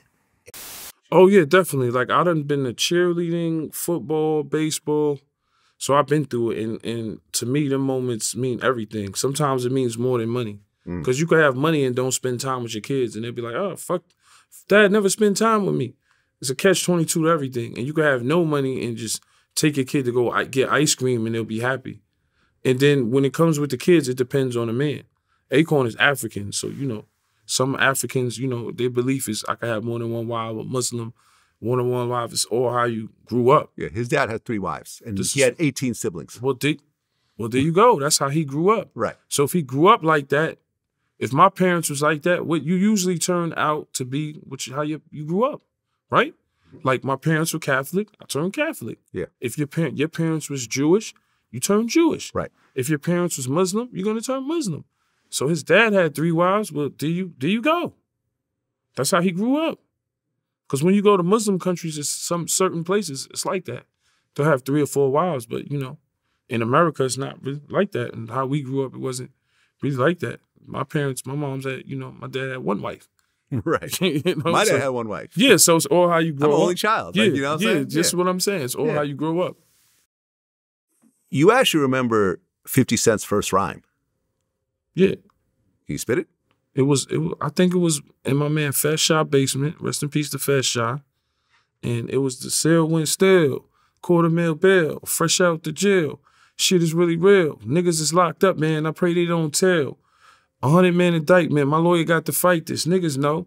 I ain't never pressed for dope. Niggas know. I don't serve nobody I don't know. Son said he was from OT.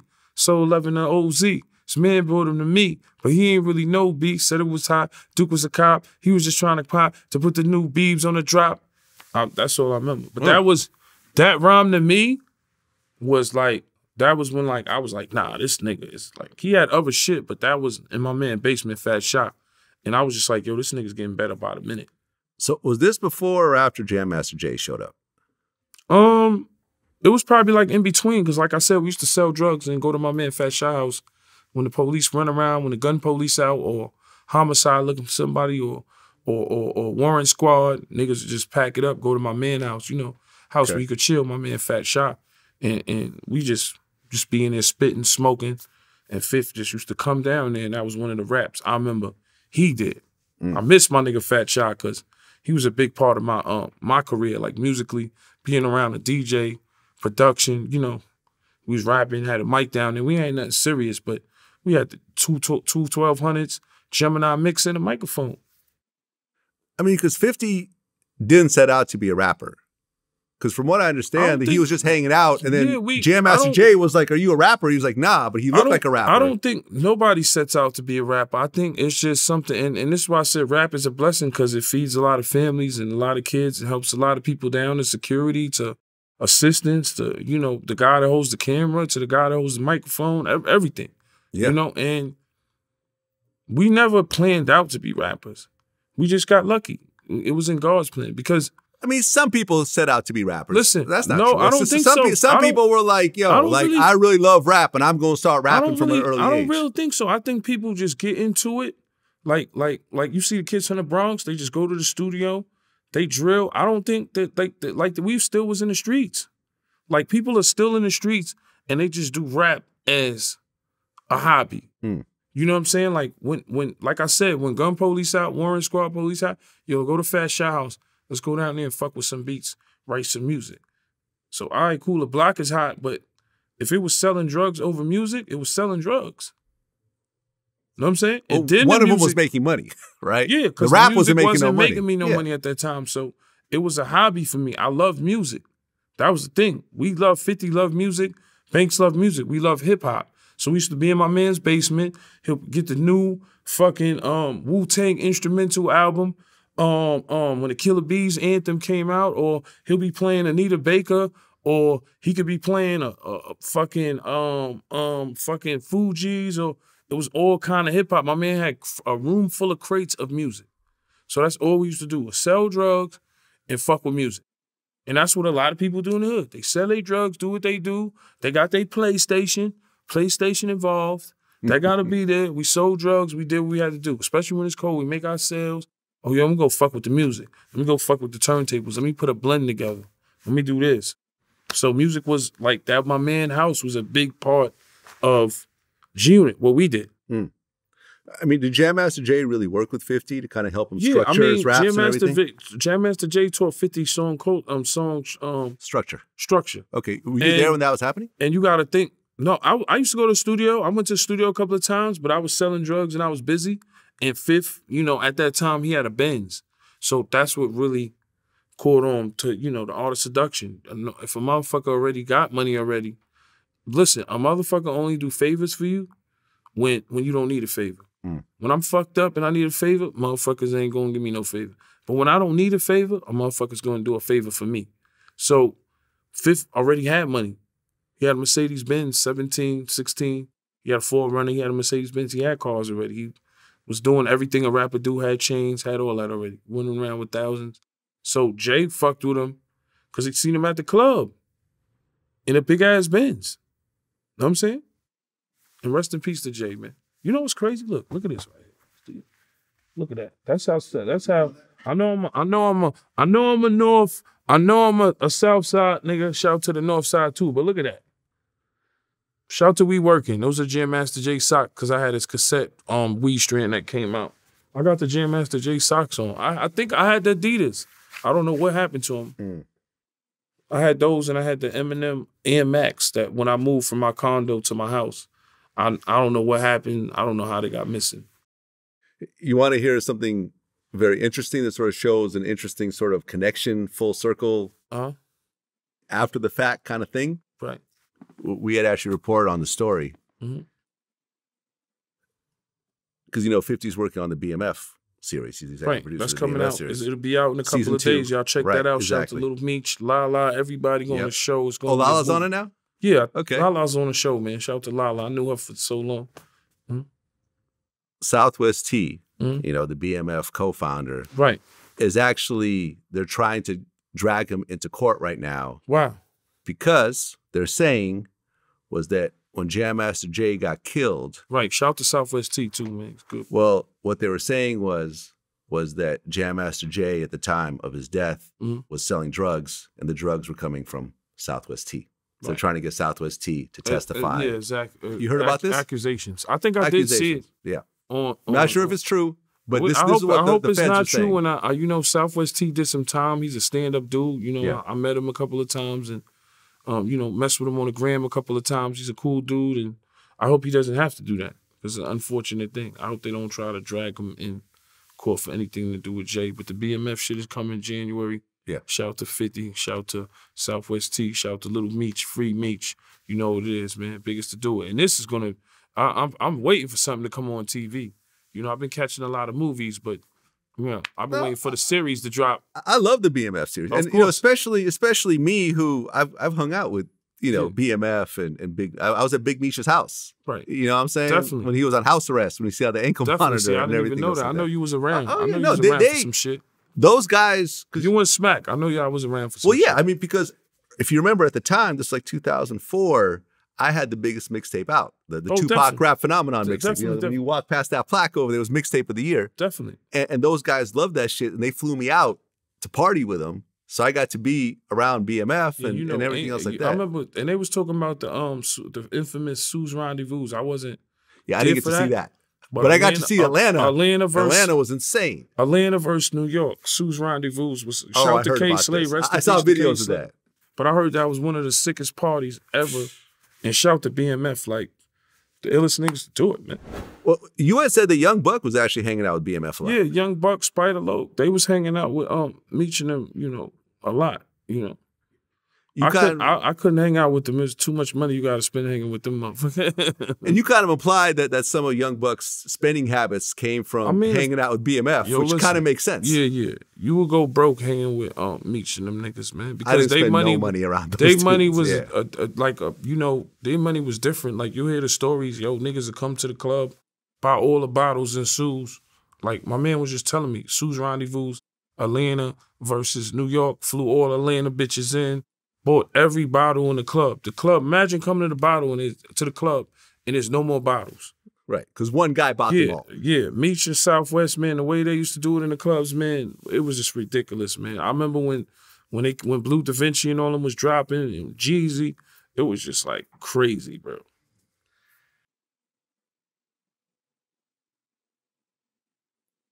I mean, when you look at, for example, Lil Meech. The Richard Mille watch situation, Right. which they ultimately dropped the charges Right, for. right. Oh. Now there's the whole gun situation at the airport, and he explained. I think he- they dropped that too. Though. I think they're going to drop it too because what he said was his security and him have the same, exact yeah, same it, bag. it happens if you have the same bag and he's licensed, you might pick up that bag by accident. Yeah, it's possible. Yeah. I mean, I still feel like, and I've interviewed Lil Meech before, like way before the BMF. Yeah, series. definitely. You know what I'm saying? Yeah, and, and 50 he explained how he was on. I'm- sheltered from, from yeah, I remember else Meech like was that. he was Lil Meech was rapping and shit like that. Yeah. and- and doing his thing and shit. Your mom, did she ever tell you what your dad did for a living or, or anything else like that? No, not at all. No chance. She didn't tell me none of that. She told me he was on a business trip. She kept switching the story. Though I remember he first he was on a business trip. Next he was on a job. Like he went to um, a job interview or some some. She told me. Well, well, no, but I mean, but before before your dad actually got convicted, did you ever ask what your dad did, did for a living? Oh no, that wasn't even on my mind at all. I was just focused on having fun. I mean, do you feel like in a way, and this to me is just it's not it's not a it has nothing to do with Lil Meech's character, but a lot of times when you have your dad and he's esteemed to such a level and he's known for this type of thing that you try to emulate your father and you try to catch up, even though at the end of the day, Lil Meech is not, you know, is not a street guy. He has a real career. You see what I'm saying? He's an actor. That's he how- pays taxes. That's how. But look, but that's how you might look at it. Yeah. You might say he's not a real street guy, but when he walk out the house, he feel like I'm a real street guy. If a nigga do something to me, I'm gonna punch him in his face.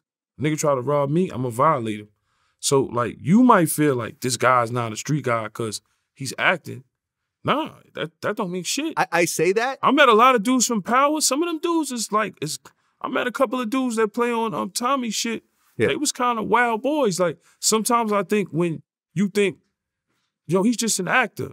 A motherfucker be like, what? I'm a street nigga. Listen, listen. Okay. At the end of the day, I done heard actors say this. Yeah, yo, niggas think I'm just a fucking actor. And they'll do some wild shit because they feel like they gotta prove they themselves. That's like, like, like you said, because your father was ill, nigga, or like, or or like a a, a fucking Meech. He got a lot of pressure because his father was a real nigga. Just like uh, E Money Bags, his his son will have a lot of pressure because his dad was a real nigga. Or or or Troy will have a, a, a hard a hard, you know what I'm saying? A hard time because his father was a real nigga. Yeah, it's a lot of pressure, but it's all on how you feel about it. You know what I'm saying? When I say It's, this, it, listen, it's all on how you feel. You might Right. feel like, yo, I could never match up to what my father did, or I can, or I can match up to what my father did. But what some of our fathers did, they in jail, they dead, got cases. so mean- why would you want to match? Your father would want Meech's father want him to win, of course. exactly. And and when I say when we I can't say, he's not a street dude. No, no, no. Listen. Well, I- I'm I'm saying when I say he's not a street guy, I'm not saying that he's a pushover No, or no, he's no, not, not he's not a, he, he- he's not going to stand up for how he feels. But I interviewed him when he was like I don't know 17, 18 Right. and his mother was there and he went into the whole story about how he didn't even know what his dad was doing until later in life. He was shielded. His mother shielded him away from it. Right. He was not selling drugs. He was not in the street. His his dad's, you know, what his dad did afforded him a nice sheltered life, Right. which is what we all want for our kids. All right. I'm not insulting Little Meech. No, I know. I that. want Little Meech to win. of course. And he is winning right now. It's just worrisome to me that, like, listen, if you're looking up to your dad, your dad is still in prison right now. I mean, yo, listen, I've I've done it. Money and power. When you got money, power, you could you got motherfuckers that'll, will shoot for you, do whatever for you. Yeah. It gets to your fucking head. It happened to me. It happened to the best of us. It's happened to me. You know, I, have gotten now- caught up in having Yeah. people around me that do my dirt for me. I get it. Yo, punch it. in the face. Whatever. Exactly. You get caught up in the hype. You got bitches now. You got jewelry now. You got there's a motherfucker that did it before you, and there's gonna be a motherfucker that did it after you. The way you hold your mentality is on you. Cause money and power is a motherfucker. I told you it was a point where I felt like I was unstoppable. I got lawyer money, I got bitches, I got cars, Bentleys, everything. Nigga, I got clothes. Nigga, what? Nigga can't tell me nothing, nigga. But at the end of the day, court cases, pay money. There was a lot of headaches to that shit too. People could have got killed.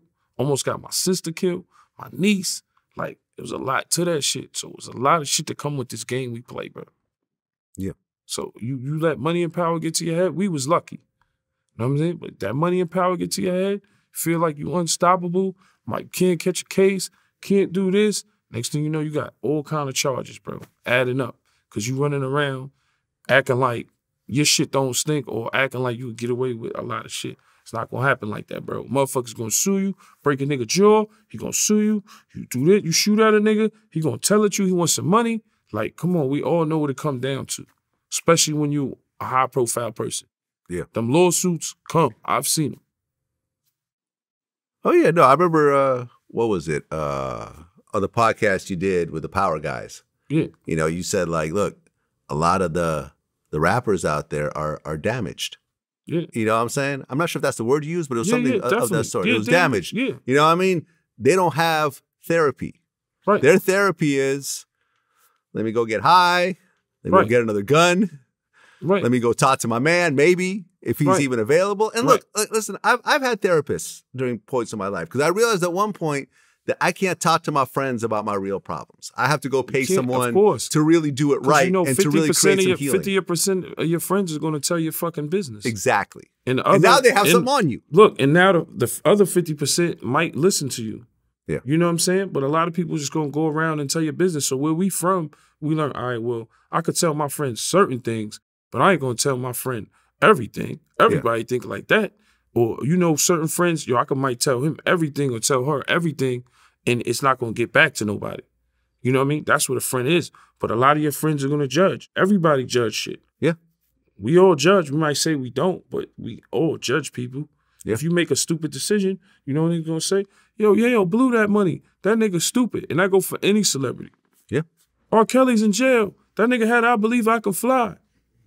Think Yeah. about it. Yeah. That nigga had I Believe I Can Fly, one of the biggest records in the world. And he's sitting in the pins with regular niggas chilling. What? Yeah. Shit don't even sound right, bro. Yeah. I mean, you even mentioned how 50, 50 is damaged because he, Yeah, didn't, know, 50 he didn't know listen, his father and his he didn't mother know who his father was, on. and his mom was in the So, streets, so there's and no she got killed. Yeah. There's no parents there. Your grandparents are older. You're damaged, bro. You was outside. The streets taught niggas. A lot of niggas are damaged. A lot of see, shootings you see. You see uh, uh, uh, eight, a 18 year old kid stab his 16 year old girlfriend somewhere in New York because he thought she was cheating. Motherfuckers be damaged, bro. That's what they see from the parents. It's fucked up for certain places. Yeah. And sometimes you want to help and try to fix people. Your man say he do shit for the youth. That's real shit. Cause that's where it starts at. Trying to help them. But some people can't be helped. They just fucking bad seeds, bro. Yeah. I mean, Some free, people free, can't free be K helped. Flock. You gotta remember where them niggas are from It's not a game. In the Bronx, that shit is not a game with um Kay Flock. I got a chance to meet Booba Savage. I like the kid. But it's not a game. It's not play play over there. Where they at? Shit is real. It's life or death. Yeah, man. You know I listen, I, I interviewed B Love. It's life. You know what I mean? All I them little, B- B listen, Love. all Like, them little Bronx all drill those niggas. dudes. Listen, all them young niggas is life or death, man. When you look at D Thing, because I'm a fan. I listen to Booba Savage, Shotty K, Kay Flock. I'm a fan. I listen to all kind of music. The young boys, the older music, different genres of music. But where they from is a fucking war zone, bro.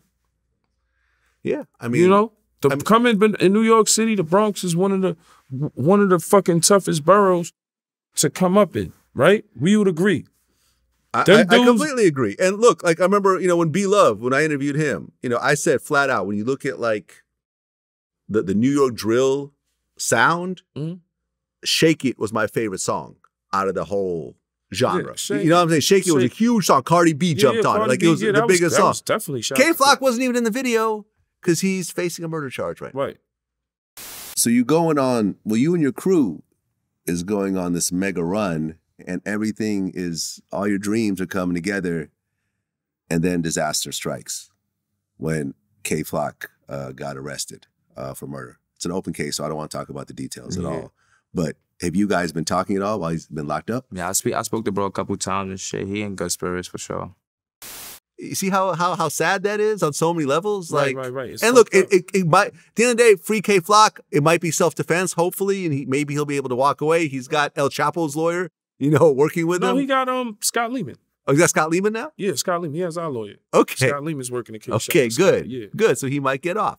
But what I'm saying is like, yo, it's it's sad to see a teenager who has all the potential in the world suddenly be sitting in a cell over shit that he probably And has been ingrained this is- in doing all where, these years. Where did that happen at? His situation, not saying it's accusation that he, you know, where did it happen? Supposedly in Manhattan, the Bronx, I right? think. Was it the Bronx or Manhattan? Don't be in the hood, bro. Yeah.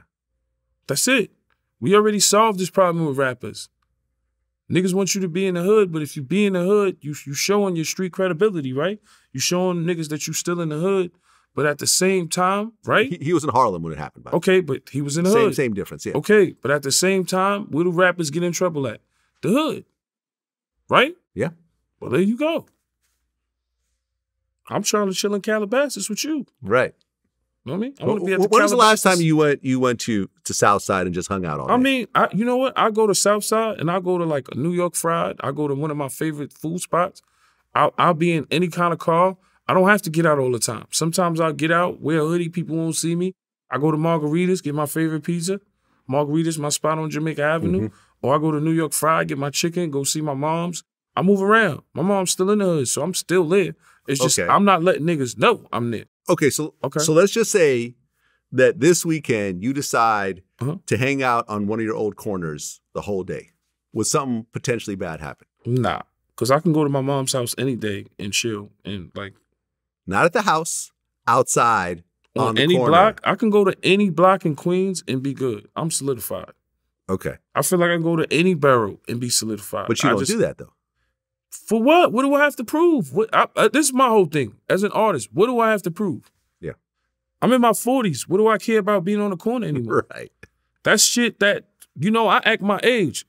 That shit that niggas, you know, in their fucking 20s and 18, 19 want to be on the corner block. Like, that's not entertaining for me. Me, entertaining for me is going to the Louvre in Paris, going to see the Mona Lisa. Right. That doesn't enter. When I was younger, yes, I used to be on the block every day. That entertained me. But now me, you know, being in Greece on a yacht, that entertains me. I like shit like that. I love that I could eat Jamaican beef patties, right? Like I could lose it or I could lose it all, right? And get it back again. Cause I can go from escargot to Jamaican beef patties and not go crazy. You know what I'm saying? I could do that. You know what I mean? Some days it might be escargot or caviar. Some days I want a beef patty with cocoa bread. I could do that. I stay humble. Yeah. I mean, look, uh, rest in peace, uh, you know, DJ Twitch Boss, Right. who was the DJ for Ellen. Right. Uh, 50 Rest actually performed on Ellen before. oh yeah, I think yeah, so. I, yeah, I looked it up. And look, I, we don't know exactly what happened. He committed suicide. Right. But I could tell you, as a former full time DJ, when you are all invested in being a DJ for a particular organization, like I've seen this happen all the time with radio DJs. They're on Hot 97 for five years, suddenly they lose their job. And you know, all the gigs they got was based on their radio, you know, Right, right. You DJing know in the business. clubs, Yeah, they yeah, get a bigger amount because they're on the radio. Suddenly they're not on the radio no more. They go from two thousand a night to two hundred dollars a night. Right. And, and it's hard, man. I'm sure that you know. I mean, this guy had a family, had three kids, and suddenly Yeah, he's been on the show him, for a decade, and suddenly his his income drops. He no longer feels like the man in the house. His wife is probably paying a lot of the bills. I'm sure that hurts, man. Oh And, no, you I know, mean, yo, listen, man. I mean, finances. You know, finances play a major part in any relationship, any marriage. As as you for the man, you you know you known as the provider. So Mm-hmm. when shit is not going right, of course it could affect any relationship or any state of mind of thinking. Because even though life is not about finances, but you need it to live. You, you need you know, rest in to live. peace to him, and you know, hopefully he would have got help for that because you know, suicide is a messed up thing. You know, I I wouldn't suggest anybody to kill themselves, no matter how bad or good it get. You know, but you know me, I come from the bad, so I can, you know, I feel like if I lose it all, I could just gotta hustle up and get it back again. That's just how it is. Life has its ups and downs, and I had to learn that. I'm gonna be on a high horse, G unit. I remember the roller coaster was going up, but once the roller coaster go down, and people still gonna kiss 50 ass because he's 50 Cent. But once our G unit roller coaster went down, motherfuckers, everybody was different. Motherfuckers wasn't answering the phone. Motherfuckers wasn't cool. You see how you do. And these are the same people you flying around the world. You taking care of their family. You giving their family money. You they in your house. They eating your food, your eggs. They borrowing your cars. But you know, life has its ups and downs, and you realize who's real and who's not Yeah. in them situations. when you and I first met, which was maybe around 2004, Mhm. I was borderline homeless at the time. And that was after I had made like a million dollars and lost it all. Wow. You know what I'm saying? Because I, I was during the whole dot com boom. I Yeah. had my own company. I had employees, a big office. I got married, bought a half million dollar house, had the drop top Benz. And then the dot com crash happened and wiped me the fuck out. Yeah. And I had to move to, and I decided to switch careers and become a DJ. And I moved to New York and I was sleeping on my man's couch, DJing at the China Club. Cause, Wow. you know, his brother was a promoter there. Right. And when I met you, you remember how I looked back then? Yeah, yeah, yeah. I wasn't wearing, yeah, yeah. I was dressed bummy. Yeah, you I- I was- definitely- you remember, you remember those days? Yeah, I remember I was holding the camera myself. I had no Yeah, cameraman. you I didn't no have this big studio. You was doing everything by yourself. I That's was why, doing it all by myself. That's why I always say I always gotta respect Vlad. This is 50, World Star, uh, Forbes DVD. Yeah. Like I always respect because those were, you know, the websites you go to. This is 50, World Star, Forbes, Vlad. It took me Media a decade. takeout. I It- used to be on these shits like Yeah. what? it took me a decade to get back where I was before. Definitely. And there was a lot of hard times along the way, man. I, I remember going over my, my cell phone minutes and getting a $500 bill and feeling like my life was over. Like I couldn't pay that money. Yeah. I, I remember not being able to buy food because I was dropping off mixtapes on consignment to the Africans in Queens. You know what I'm saying? Like definitely. Shout out to it, it takes a while yeah. and there's a lot of depression along the way, but yeah, man. I mean, if you got It's- the hustle, you can yeah, rebuild, but it's- it's not going to happen like that. Definitely. It's going to take a while. it's tough in this business, you know. Like I, I mean, even when you see me doing these interviews, like I'm like I'm back from the dead, man. Mm. Like you know, people like to write you off, and, and and you know, and, and say, oh, he's over or he's washed up or say bad things about you, but it's all the work you put in. Yeah. You know, I've been doing these interviews. Shout to all the young people and all the people all over the doctors and everybody that's seeing these Vlad interviews. But one thing I learned is you have to work. Yep. If you don't work, a lot of people think they're working, they're not working. And there's times where I wasn't working. I got spoiled. I was lazy. Nah, I'm working, bro. You gotta Yeah. work. And that's what these Vlad interviews about. Working, going into this new year. I mean, it's the last interview mm-hmm. for the year, going Yep. into the new year. And we working, man. All right, last question before I let you go. All right. Who, who did it better? Oh man, that's that's a funny one. that's a funny one. We gotta show the camera that one, man. No, we're, we're gonna show it on screen. Yeah, yeah, definitely, man. Definitely, man. All my viral moments come from from from Vlad TV, man. I appreciate it. This is interview number five. I think so. We yeah. gonna keep going like Lil Boosie, man, and Yeah. Jock and everybody on this show, man. We're gonna Yep. keep going, man. That's how it is. Tony Yayo. Yeah. Always a pleasure. Peace. Yes.